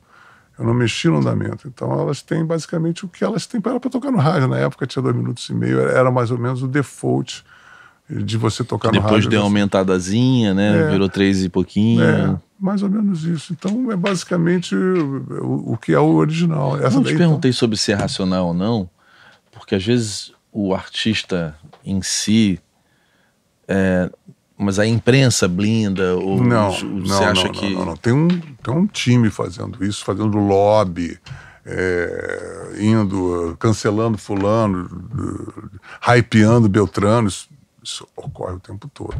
Ocorre, ocorre. De caso pensado, caso de reuniões, chamam as pessoas para casa da pessoa, a pessoa faz reuniões, elege fulano para fazer isso, você vai ser o meu parceiro disso, você vai fazer uma turnê comigo, você vai para novela das sete com fulano, você vai para novela das oito. Isso tudo é organizado. Então, os premiações, quem é que vai ser premiado? O- o- quem está nas editorias dos jornais? Quantos jornalistas já foram excluídos porque não coadunaram-se com isso? Quantos? Uma, quando, eu fiz o manifesto, da, da, da, manifesto do Nada da Terra do Nunca, uma amiga minha que é dona de uma revista, que eu não vou dizer exatamente, ela falou: Você falou essas coisas. Você falou do Chico, você falou. Os editoriais são todos lotados de cães de guarda desses caras. Os caras vão atrás de você, nunca, você não vai, nunca mais vai trabalhar em lugar nenhum. Então, é é esse o, o clima de simonalização. Eu, quanto ao Chico, por exemplo, eu não, não, eu, eu não, não, acredito que o Chico se envolva nesse. Eu acho que o Chico tá away disso tudo. Eu acho que o Chico ele tem fanáticos seguidores dele que fazem a questão do status quo se manter do Chico. Agora, já o pessoal da Tropicália, não. O pessoal da Tropicália é uma, uma coisa de poder mesmo, de poder de, de eternização, perpetuação do poder. Isso é uma coisa que todo mundo sabe. Se fala com o Fagner, vai falar com todo mundo. Não será todo mundo que virá a ribalta para poder filmar. Vão todos Não, o falar em off. fala, ele fala aqui, gravou, É, gravou não, aqui. O, o, o Wagner sempre falou, o Alceu já falou, né? o Macalé já falou, né? o Melodia já falou, né? o Cassiano, todos esses caras, o Tim Maia, né? Todo mundo Tim fala, ficava puto, me chamam de maluco, que é muito fácil me chamar de maluco, né? Porque é o maluco do Tim Maia, porque aí não, tudo que eu falar não cola. E é assim, porque ele era de uma vertente, todo mundo achava o Tim Maia pitoresco, bacana, mas ninguém tratava o Tim Maia como o gênio que ele sempre foi. Né? Você conviveu bem com ele, assim? Ele era meu padrinho de casamento. Tim Maia. Olha só. Não foi, né? Me mandou um bilhete. Não- Que- Claro que não foi. Não, Não, claro. Eu esqueci, mas eu vou, vai nascer o Bacuri, eu vou ser o padrinho. Eu tenho, eu tenho um bilhete dele. Mandou uma Corvette. Pessoa maravilhosa, assim. Uma figura doce. O Tim Maia era uma figura doce, uma, criatura doce. Tinha seus rompantes, tinha coisas. Pô, ele deu um esporro uma vez no Ed Mota, na frente. Tava eu, João Donato e Tim Maia, numa feijoada no hotel em São Paulo. Pareceu o Ed tinha 16 anos, 15, muito novo. E o, o Tim Maia passou um esporro nele. Ele falou assim: gente, esse garoto tem que. To... Ele tinha bebido, sei lá. Tem, tem que tomar tenência, ele é filhinho de mamãe, fica comendo macarronada, vai ser corneado para cantar direito. Vai ser corneado, você não tem corno aí, tem que sofrer. E ele amava o Tim, né? Depois ele foi ficando puto, porque sendo o humor negro ou não do Tim, é, isso marcou muito o Ed. Marcou, o Ed ficou um, ele teve que fugir de uma coisa que era muito natural dele. A coisa do Manuel, não sei o que, a coisa que parecia que ele era um. Era o DNA do Tim ali, né?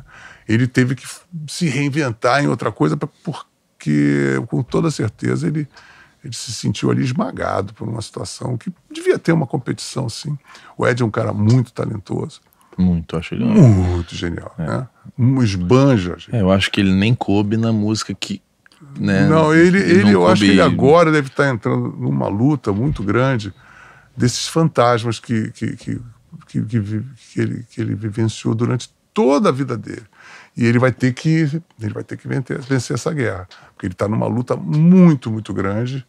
E isso ele vai ter que. E ele merece, ele merece se desvencilhar de todos esse, esse massacre que ele sofreu, sabe? É, a música pop, ele, você vê que ele tem um sucesso absurdo ali, mas ele não coube ali, né? Ele falou, isso aqui não.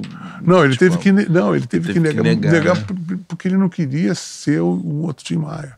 Mas muito muito mais por uma questão pessoal com que ele acabou tendo uma certa ojeriza no, no Tim, porque o Tim fez por onde também, né? Mas voltando à vaca fria do Tim, ele, ele por mais que ele tinha essa- essas arestas assim, ele era uma criatura muito doce, muito, muito diferente do que poderia se imaginar daquele. que era também. O Erasmo fala exatamente a mesma coisa. Era uma criatura doce, um amor, assim, me tratar. Ô, meu amigo, mas aquele ursão, me dá um abraço carinhoso, sabe? Uma pessoa. E com toda certeza, o Tim era tipo daquele cara que se ficou assim. Ele dava esporro nos músicos, eram, eram históricos os esporros do Tim Maia. Por pura carapaça, ele era um cara inseguro, tímido, muito tímido. Às vezes não ia porque fumava, mas não ia. Então, é uma personalidade muito mais complexa e muito mais fascinante né, do que essa, esse pacote do, Do que rótulo do que, maluco. Do, que, é do maluco, excêntrico, simplesmente, é, que faz um do Tim. E um outro, um gênio também, underrated também. Você vê que todas essas pessoas. Macalé é o outro. Né? Não vi. Macalé é outro gênio também, que pô, teve uma, é um entreveiro, inclusive, que ele produziu um disco do Caetano e houve, houve um, um, soluços. E houve uma briga desgraçada, ele foi pro ostracismo, passou anos sem poder gravar. Né? Então são essas É, é coisas. engraçado porque eu sou tão admirador da obra desses artistas todos que Mas eu não, que eu não consigo só, imaginar bem. isso acontecendo. Agora, sabe? você vê o- a minha atitude, o que, que foi? Eu gravei todos, inclusive gravei Expresso 222, gravei o Você Não Entende Nada, gravei, gravaria Terra do Caetano, Sampa do Caetano. Eu gravei no Você Não Entende Nada porque tinha muito a ver com a pandemia a letra, sabe? Mas são artistas que eu devo muito, ah, poeticamente, artisticamente, a Cauê Caetano. Tenho amor a todos eles. Um amor profundo ao Caetano, ao Gil. Admiração profunda. Agora, no setor da, da organização, do business da coisa, tenho assim, inúmeras discordâncias. Protesto veementemente, continuo achando que o que se, que se é feito é muito lesiva, não, não só para meia dúzia, para toda a música brasileira todo mundo tem que se parametrizar por aquilo e o- o- os, os malefícios são incalculáveis, né? E eu acho que é uma questão que de vergonha na cara as pessoas não- parece que acham isso normal, é, porque aqueles que poderiam ter algum tipo de vigor, né? Para chegar e dizer, não, cara, que isso, meu irmão? Não pode. Não, fica todo mundo se encolhendo, ninguém tem culhão de botar o pau na mesa para dizer, cara, não pode ser assim. Não pode ser assim. Quer dizer, não é cara, porque não é. Apesar da coisa ser centralizada, ela tem uma rede, evidentemente, de, eh, de, de pessoas agindo para que isso aconteça em várias áreas, tanto na imprensa, como na televisão, como no cinema, em tudo que é lugar. Mas deveria, tem que haver um- uma, uma, repaginação da- de como produzir eh, música e cultura no Brasil. Porque senão, cara, você vai ficar nesse. Porque o que acontece? É um processo de mediocrização. Porque você vê que não existe mais depois do Caetano, assim, a, a, gênero, não fabricou mais um outro Caetano, outro, porque não vai, cara, porque eles não vão deixar. E porque as pessoas que ficam ah, a fim de ser um novo não têm o talento que eles têm, aí tem o beneplácito deles, mas, mas não acontecem. Porque não são bons. São cópias, todo mundo vê isso. E aí você fica nessa regurgitação. Ah, tem um novo aí. Aí o cara vem, bota o, violãozinho. Começa a tocar com aquela vozinha meio mansa, né? Tipo assim, "Ih, já, você já vê. Aí vem uma cantora com o cabelinho encaracolado, aquele protótipo meio Maria Bethânia, meio Gal. Esquece. Aí a pessoa já está completamente estereotipada. Já, e acontece o que acontece. Você vai é quase como o fator de endogamia, sabe? Quando você vai, os genes vão enfraquecendo, eles vão ficando entre si, a cultura vai, vai se alimentando da- das informações, somente aquelas informações entre si, aí você vai fenecendo o caldo cultural. Né? Então as pessoas que aparecem ali é um sub Chico Buarque, é um sub Caetano, e cada vez piores. Aí o cara quer ser exótico, aí o cara faz uma bossa nova e bota um, um sampler, não sei, bota um reco-reco para ser exótico, para ficar meio doidinho. É uma porcaria. Não vai, não vai colar, isso não vai rolar. Essas pessoas não vão imprimir. Mas é tudo sob a égide daquele poder acachapante de que aqueles são não, mais do que isso impossível. Tem esse fetiche. E as pessoas que se rebelam, elas ficam à margem, à margem da, da cena. Você vê quantos que a gente viu aí. É, Hoje em dia, por exemplo, é impossível achar que eu estou delirando. Porque são exemplos muito factuais, muito localizáveis. Né? Fulano, Beltrano, tá todos ali. A gente está falando aqui uma série deles. Gênio, de gênio. De gênios, né? Pessoas, por exemplo, como essa aí. Cara, vende esses, essas capas, cara. É, as capas são maravilhosas. Vende pôsterzão. Sim, não. É uma Eu- eu vou comprar. dramática, né?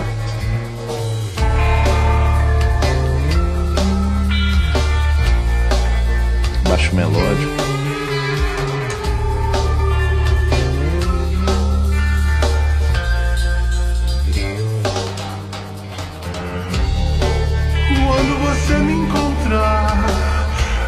Fale comigo, não olhe pra mim.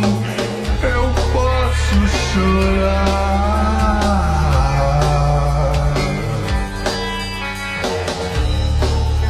Quando você me encontrar, não fale comigo, não olhe pra mim. Eu posso chorar. A música é linda. Um humor negro, né?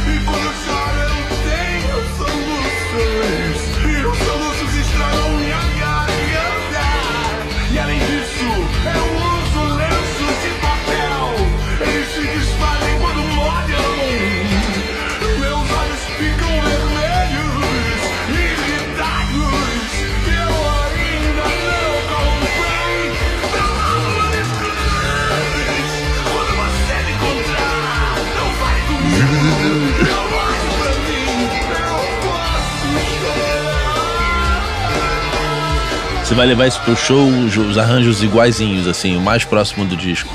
Olha, eu não sei se eu vou fazer o show desse. Eu tentei fazer, eu tentei fazer com uma orquestra de câmara, porque eu vou precisar de um, de um grupo maior para fazer determinadas músicas. Fazer com power trio é impossível fazer. Sim. É, por exemplo, eu vou tocar o Trem Azul agora porque dá para fazer as músicas mais de rock, etc. Essa talvez eu faça. Mas a grande maioria eu não posso fazer é, assim, preciso de uma outra estrutura. Então, eu, por enquanto, eu não sei, eu vou, vou pensando algumas músicas que a gente pode tocar no Power Trio. Que circunscreve, por exemplo, Retalho de Citinho não posso gravar, não posso tocar o, samba, o, samba do avião, é, o próprio cais. É difícil de você poder tocar numa situação de Power Trio. Então, seria, deve- eu, eu precisaria de pensar em fazer um projeto. Eu não sei se eu vou ter, eu vou ter essa paciência, porque isso envolve muita gente. É, aí tem que ter edital, sabe? é todo uma, né? É, sabe? Eu não sei. Pode ser. Eu adoraria ver isso num teatro lindo, sabe? Com, com superprodução, etc e tal. Mas teria que ser sempre uma superprodução. Então eu morro de medo de superprodução, então eu não sei como é que eu vou fazer. É, aí hoje é foda, porque você quer uma superprodução, aí entra um sócio parceiro, e É, aí, não, e é, aí é um projeto de que, que vai te dar um- muito, muito, muito, muita pressão, né? Você não sabe como é que. Como Que foi, cara, se autoproduzir 100% no momento que ninguém te visitava, não tinha. Né, não- É, eu adorei, eu adorei, eu ado- adorei, adorei, porque eu estava acompanhado das músicas, né?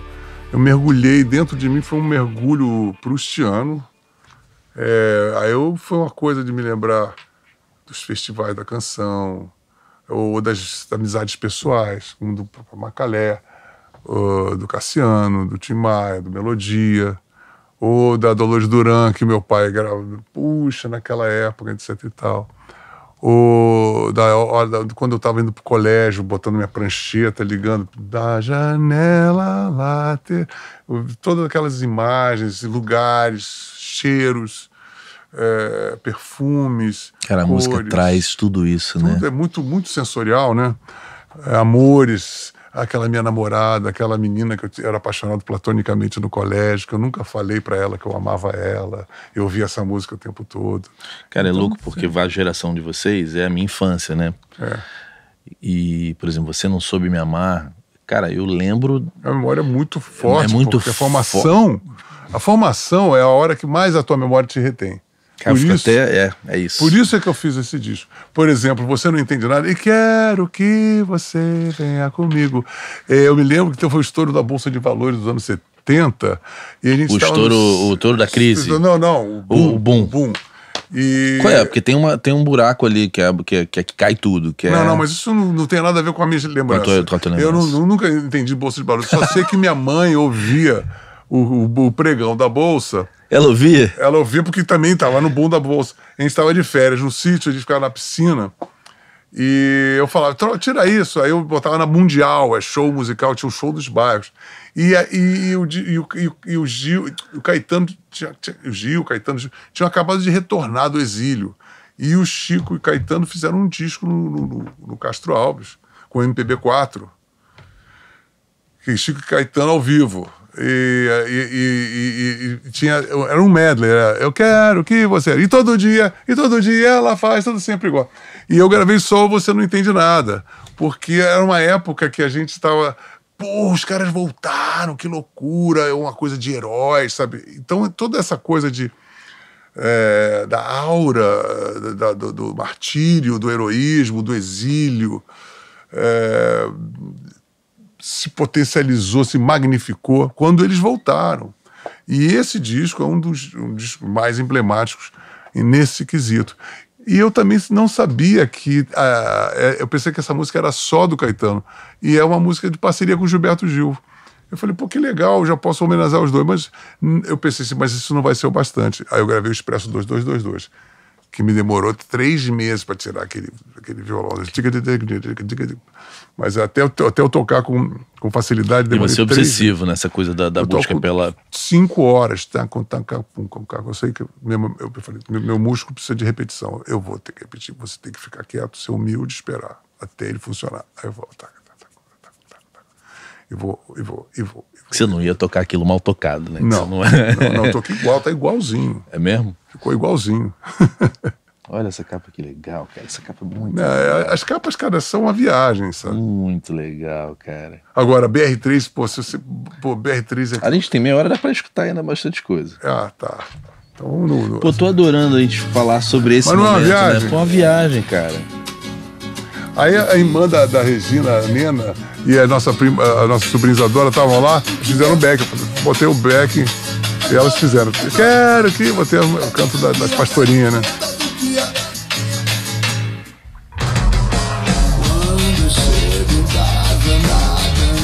É, o baixo tá com outro som já, né? Pois é, não, tem um monte de.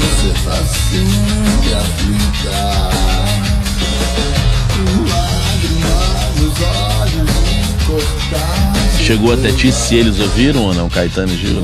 Não, chegou a mim que o, o Benito de Paulo adorou, Tony Tornado adorou, o Lobois adorou, alguns se manifestaram. O, o- o Zé Ramalho adorou também, falou comigo. Mas tem outras, o, o- o Chico também eu senti que, que ele foi muito gentil, mas outros tem outros que não, não se manifestaram. Mas eu também não estou nem um pouco interessado se- em reconhecimento. Isso é uma coisa para mim, sabe? Esse disco é um disco para mim. Eu fiz ele, é, é uma homenagem para todos, mas ele é um reconhecimento da minha identidade, sabe? Como, como músico, o que, que isso fez da minha alma, né? Então isso que é o importante. né? Você acha como compositor, o Lobão compositor, quem, quem foi o, o grande compositor que te inspirou mais, assim? Ou os? Ah, não sei, cara. Porque eu não consigo ouvir tuas músicas e, e- e achar, ref- Localizar, é. localizar, não é porque consigo. eu tenho, sabe que é muito pulverizado. Eu aprendi violão espanhol, aí eu, adoro o Torroba, o Albenes, o Rodrigo, é, porra, aí eu gosto do Vila Lobos, aí eu aprendi João Pernambuco, Ernesto Nazaré, isso dentro do Brasil, mais assim, né? É, raiz, né? É, tem Dalva de Oliveira também, que eu adoro, Trio, um Trio de Ouro, Trio Iraquitã, Trio Lagoa, Ed Lincoln, é, aí tem é, Bacalé, todos esses que estão aí me, influenciaram de uma forma profunda, né? E aí tem o- o- a música erudita, que eu já falei, tem, tem a música pop internacional, tem o Lennon, tem o Lennon. O Lennon, na verdade, o que formou a minha persona pública, meu, meu, meu alter ego, vamos dizer assim, é uma misto de John Lennon com Nietzsche e Nelson Rodrigues. São os três as pessoas que mais me me, me- moldaram, assim como caráter. O que que vem do, de- do de cada um, assim? É, eu acho que assim, a- assim, a, a- a argúcia crítica, a coragem, a- o senso de provocação, que eu acho que todo artista tem que provocar. Um artista que não provoca não, não, não me fala nem um pouco. Um artista bem comportado, para mim, é um, funcionário, não é um artista. Então, o artista tem que provocar, tem que causar ogerizas, paixões, eh, tem que causar escárnio, você tem que se expor a, a uma rejeição.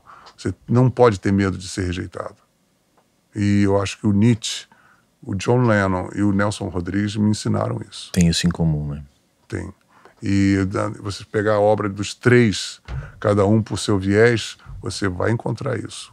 Muito vivo no Nelson, muito vivo no Nietzsche, muito vivo no John Lennon. E, e eu, eu falei assim, é isso, i- isso sou eu. E eu me identifiquei muito com isso. Eu falei assim, eu sou um provocador, basicamente. Eu sou um cara mais provocador que eu conheço. Eu acho que sou eu mesmo. Não é porque o Fagner, por exemplo, é um grande provocador, né? Mas na canção não tanto. Na obra não tanto. Aham. Mas você teve momentos ali que, que a obra a obra provocou, né? Sim, desde a arte Acho gráfica. que esteticamente o Fagner, obviamente, provoca muito, né? Porque ele tava fazendo sempre discos meio que nunca um diretor artístico aprovaria, né? Sim, sim. Fez discos incríveis, incríveis, incríveis. Aí depois do, do Borbulhas eu falo pra ele que deu uma. Mas mesmo assim, ele se arrisca dentro do, Sim. do que ele acreditou. Quando ele me chamou pra produzir um disco, ele arriscou, imagina. Me conheceu numa coletânea de Beatles do Marcelo Frois e, Aham. e veio aqui me procurar. Você vê, o cara que Não, tá. é um experimentador. ele é um aventureiro, experimentador, né? né? Mas eu acho que a tua obra provoca revanche. Tem vários momentos ali que, que, é foda. Que eu me lembro que eu, moleque, eu falei. "Ah!" É, não, eu, eu acho que eu, não- eu não conheço nenhuma música minha que não tenha um sentido de provocação. Até na hora em que a pessoa vai querer esperar de mim alguma, ah, alguns, alguma coisa mais estapafúrdia, ou mais, e aí eu vim com uma coisa ultra comportada. De alguma E forma, e é falou, "Mas, provocador também. Porra, mas você não é o cara lá. Outro dia eu tava assim, você tá, tá parecendo comportadinho. Também é o comportadinho também está desafiando o status quo de querer me estereotipar como se fosse o tempo todo, fosse um, um cara o tempo todo é, que tivesse um tipo de provocação no sentido apenas de fazer coisas é, estapafúrdias ou agressivas ou O terror das gravadoras. Tony né? Truante, Porque a né? gravadora que é justamente naquele instante, se achou o caminho, Não, era é, você, repetir. quer uma, quer- você quer repetir a imagem, né? E eu nunca me, me enquadrei isso. Por isso que eu falei, mas pô, você faz samba, mas pô, você faz é, música sertaneja, você toca choro, eu toco bar. Ninguém me consegue me enquadrar. E é isso que eu. É exatamente isso. Quando você enquadrar é reduzir. Quando você é enquadrado, você está naturalmente reduzido. Eu não quero me reduzir, eu não faço. Eu, faço, eu, eu- eu não admito que me reduzam. E eu falo isso para minha mulher, eu falo assim, olha, cara, parece que eu sou maluco, mas assim, a, a Lady Gaga eh, fala assim, a música pop, você vivendo no, no- da música pop, é você se privar do direito de dizer não. Você não pode dizer não. Se você quiser você, você é um cara que venda, que seja aceito e que todo mundo te ame, etc e tal, você não pode dizer não. É, você não- tem que fazer concessões. Tem um livro que chama Monsters of Loyalty, que é dela, Hum. que é sobre ela, que fala sobre o processo da, de marketing da obra. E ela fala que ela já não sabe aonde começa e termina o que é dela e o que é da audiência, né? Então, que é bem isso. É o é- feedback da própria audiência. Porque você tem que. Você Você, tem fica que- seguindo com a aceitação. Exatamente. Então, assim, o que, que as pessoas. Que... Aí você começa a fazer pesquisa de marketing para saber o que, que você vai ganhar. Sabe? Aí daqui a pouco você vai se moldando e o seu feedback vai te moldando. O feedback do público vai te. Cara, o artista tem que decepcionar. O artista tem que trair. Se você não trair o seu público, você não é um artista. Em que Você momento vira- um artista te traiu muito? Você não, como eu fã? Eu, eu, eu nunca achei que um artista me traísse porque eu nunca depositei a- a- nenhuma expectativa. Eu nunca fui tirano ao ponto.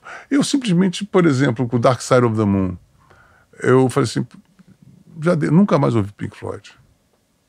Jura? Nunca mais, não sei nem o que existe, morreu ali. Por conta daquele disco? É, Não, não, eu, eu falei. Esse disco eu ouvi muito. Ah, então tá. É porque Não, mas assim, nada foi o que último, venha depois. Depois do disco do Dark Side, eu falei assim, não, eh, já é muito pop demais.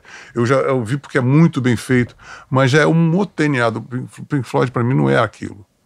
Aquilo já é uma coisa assim, uma puxa, que pena, eh, já estão numa situação muito mundana. O Dark Side do Mundo passou da lisergia cósmico, espacial, para que eles sempre vieram, é, por uma coisa mais política, né? Money, sempre. eu achei aquilo. Putz, mas tem músicas maravilhosas naquele disco. Mas aí quando The Wall, por exemplo, eu falei, "Pô, aquilo, é uma péssima ideia, a música é horrível. Tum, tum, tum, pum, pum, pum, tui. Acho horrível aquele groove. Eu falei, cara, que uma merda, porque não tem swing nenhum, né? We don't need... Pô, é horrível, eu acho horrível. Eu vi assim de longe, eu acho a ideia horrível, eu acho tudo aquilo. Tem algum muito sucesso seu, assim, que você olha pra trás e fala. "Hum". Revanche eu detesto. E eu falei de revanche, Eu né? acho horrível. Então, tem um monte de. Eu adoro revanche. Mas é porque aquela música, como vem é, o, o contexto dela, eu me emocionou não, muito eu, na eu, época. eu, eu, eu, assim. é- Acho que é- você entende o que causou, né? Não, eu sei, por exemplo, eu toquei para um milhão de pessoas tocando revanche, o Luiz Carlos Prestes segurando o microfone para mim, eu tocando para o Lula na, na Candelária. Hum, é, eu entendo que ela tem uma importância, mas eu psiqui, psicologicamente, emocionalmente, psicologicamente, eu, eu detectei quando eu detectei, quando eu detectei, detectei isso na música, eu nunca mais toquei. Ela é autocomiserante, ela tem piedade de si mesma a letra é vandrélica, assim, tipo, no sentido de ai, que pena que eu tenho de mim. Quem é que vai pagar por isso? Nós vivemos nessas. Ela tem um condão de música de protesto brasileira. E eu, quando eu percebi isso, eu morri de vergonha. Eu falei assim: nunca mais eu toco essa música. Olha só. Não toco, nunca mais. Aí eu falei assim, não, não, consigo tocar porque eu flagrei aquele, aquele processo de autopiedade. Eu não admito me sentir vítima. Eu não sou vítima. Se tem, eu aprendi na mangueira assim: se existe algum terror, o fantasma sou eu. Entendeu? Entendi. Então a revanche é assim: ah, o fantasma está me pegando. Eu, ninguém me pega. Então nem a revanche. Que loucura isso, né, cara? Qual é a outra que a gente vai escutar aqui? Até teu empresário falar, temos que parar. Pedaço de mim. Pedaço de mim. Essa é uma das minhas favoritas do disco. Eu não vou falar mais nada de quais das músicas que eu amo suas. porque Eu fui, eu, eu, eu recebi eu- essa vai, que, vai que a próxima é outra que você detesta. Calabar, eu, vi- eu vi a peça Calabar, é, tipo, é, clandestinamente no, no Colégio São Vicente de Paulo, sendo montada e tinha essa música. E quando eu vi, eu chorei tanto, cara. Eu acho que é uma das músicas mais lindas já produzidas em toda a vida que eu já vi, eu acho que é um pedaço de mim. É uma antiga arranjo do Rogério do Prado. Ó pedaço de mim, ó metade Tá afastada bonito demais, de hein? Cara, que capa foda. Leva o teu olhar, que a saudade é o pior. Isso parece a. Me lembrou a casa do Oswaldo Montenegro, né? Aquela casa dele toda É pintada. pior do que o esquecimento. É Aliás, o próprio Oswaldo foi também. Também, eu acho que sim.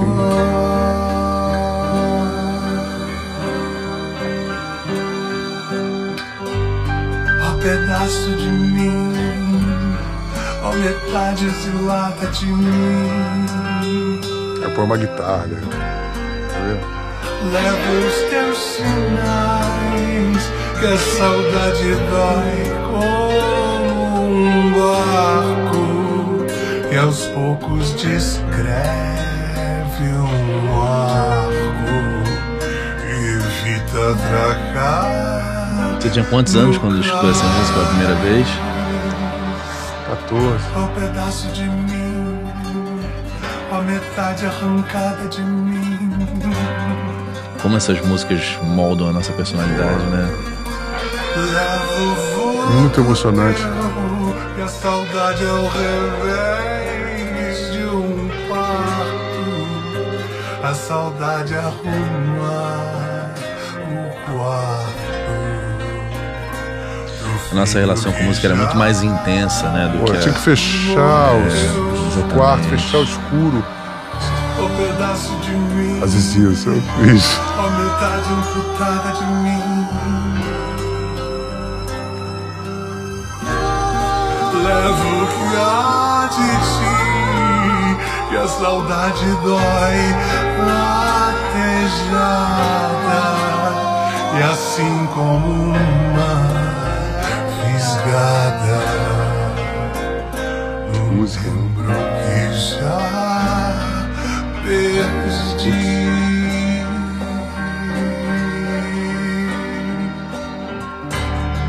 A pedaço de mim, ou metade adorada de mim. Lava os olhos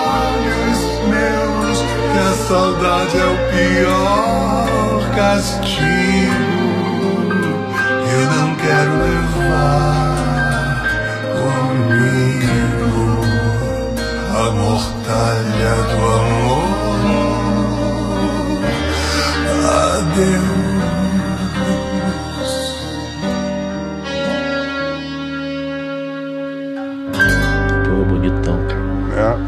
solene, é uma tristeza de uma solenidade, né, cara? Nossa, cara. De uma beleza, assim, transcendental, né? É muito louco, cara. E eu fico muito feliz, sabe com o quê? Eu pensei assim, poxa, eu mergulhei dentro da, da- da- da- de um caldo de música brasileira, né? E eu percebi quão- o quanto eu me pertencia a isso, né? Sendo o tal do roqueiro, não sei o quê. E eu podendo navegar em várias áreas, né? Você vai pegar o Benito de Paula, depois pegar o Newton César, vou pegar a Bolha, depois pegar o Macalé, o, o Walter Franco também, que é outro, que foi downgradeadíssimo, né? Eu fiz duas do, do Walter. E do Terço, Adormeceu é linda, uma música maravilhosa. Então, olha só o universo, o Belchior, é, quantos a gente está aqui falando assim, Belchior, você gravou qual? a hora do almoço. A gente tem cinco minutos, eu vou ouvir. Vamos lá. Esse é outro que também, Também ficou. que, porra, é, olha quantos que a gente viu, praticamente todos aí, né? É, o Belchior é um. E, cara, a, a Ana Canhas, ela veio aqui. Ela tá muito impressionada com a força da obra do Belchior. Mas sabe o que que é? É porque você não tem acesso. Quando você tem, assim, ah, aquele fulano esquisitão que tá ali, não é? Porque aí já põe o esquisitão, é Pô, não maluco. tô achando, porque eu, eu sou ruim de. de- Eu tenho. é, Dislexia, Não, cara, eu tenho falta de convergência. falta de conversa. Além de déficit de atenção, com minha vista não faz isso aqui, ó. Se eu quiser imitar Cara, um vesgo, eu não consigo. Que- Vamos, botar- fazer um- vamos fazer uma permuta? Vamos. Então, não tô achando aqui. Eu vou botar a música do Newton César, que muito fez a minha. a minha- Vamos nessa? Eu fiz meio Buddy Holly, mas ó, Como que você conheceu essa canção? na Jovem Guarda. Na época da Jovem Guarda, no programa da- do, do- Roberto Carlos. Você tinha quantos anos ali? 62, 63, 64, por aí. Tinha 6, 7, 8 anos. Queria tanto ter vivido isso, cara. Era sensacional, cara. Órgão Vox, ó. Você gostava da Jovem Guarda quando você viu na TV assim? Vestia todo de calhambeque. Vestia. Calça calhambeque.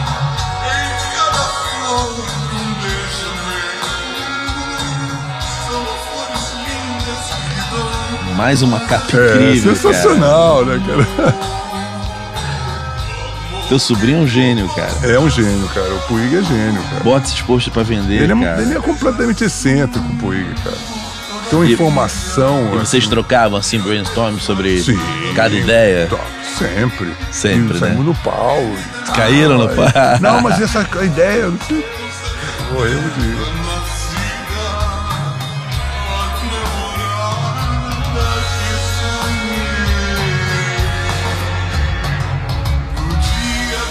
O teu selo tá sendo distribuído por quem? Você tá usando qual agregadora? Não tem gravadora nenhuma. Não, agregadoras. É, assim? é Alta Fonte, One RPM, CD Baby. Ah, tem a Believe que tá, Believe, tá, a Believe que legal. tá, que tá cuidando da- da- das Legal. plataformas digitais, né?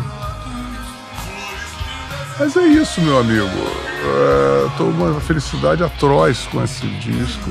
Agora tô no internacional, né? Vai sair o Immigrant Song agora. Não, né? então você vai me prometer o seguinte, porque são uma e meia, ele tem um show hoje, tem passagem de som, porque sabe que a gente poderia ficar aqui Sei, muito mas tempo. é, hoje eu tenho que Quando você vier ao Rio de novo, já com as internacionais feitas? Promete que você volta?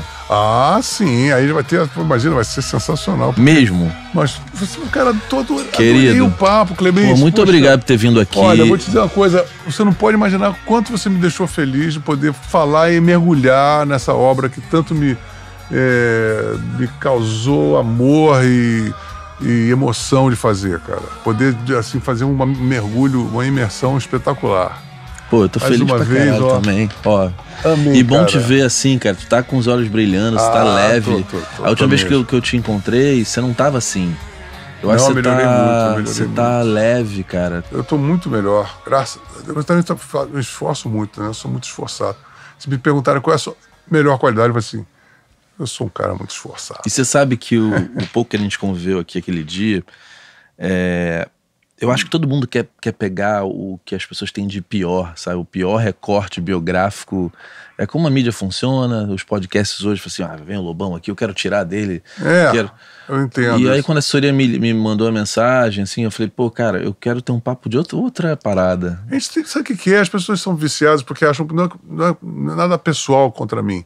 É que as pessoas não quer- querem tirar o pior. Eles acham que aquele pior vai, vai, vai ter mais audiência. Ah, mas aí isso aqui não é pra isso, né? Não, mas não é questão só disso. O que, eu- o que é obtuso é que, de repente, algo que não é o pior pode ter, eh, inclusive, bem mais audiência, pode ser bem mais interessante do que apenas ficar fazendo fofoca ou detratando a pessoa. E esse tipo de coragem, eu falei com o Luiz Antônio Melo também na Rádio Fluminense ontem. Falei: vocês têm o, o- o- o condão de ter trazido para o público, com a maior coragem do mundo, músicas de 30, 40 minutos e foram a primeira do Dial, porque justamente tiveram é, a coragem de, de fazer uma, uma- uma rádio com amor do fundo do coração e sem detratar ninguém, só mostrando o seu melhor. Olha só o que, que aconteceu. A, a Rádio Fluminense simplesmente pariu o rock nacional. Não, por e isso, eu né? não sei o que eu seria se não existisse a Rádio Fluminense. Então você vê agora você, por seu viés. É, eu, eu acho que eu estava falando isso para o Luiz Antônio ontem. assim, quem dera que a gente tenha agora novas gerações de novos empreendedores que, que saiam desse cacuete da maledicência pura e simples porque vai dar ibope. Não, tem coisas interessantes. Ou, ou ficar na monomania, ou é só sertanejo, ou é só isso. Não, o mundo é muito interessante, nós temos um mercado enorme para ser vasculhado e coisas interessantes para acrescentar, poder ganhar seu dinheiro e ao mesmo tempo enriquecer a vida das pessoas. Obrigado É vez, irmão. Boa sorte, tá? É isso aí, my friend. Um beijo pra. Regina. Galera, a gente se vê no próximo vídeo. Valeu, valeu!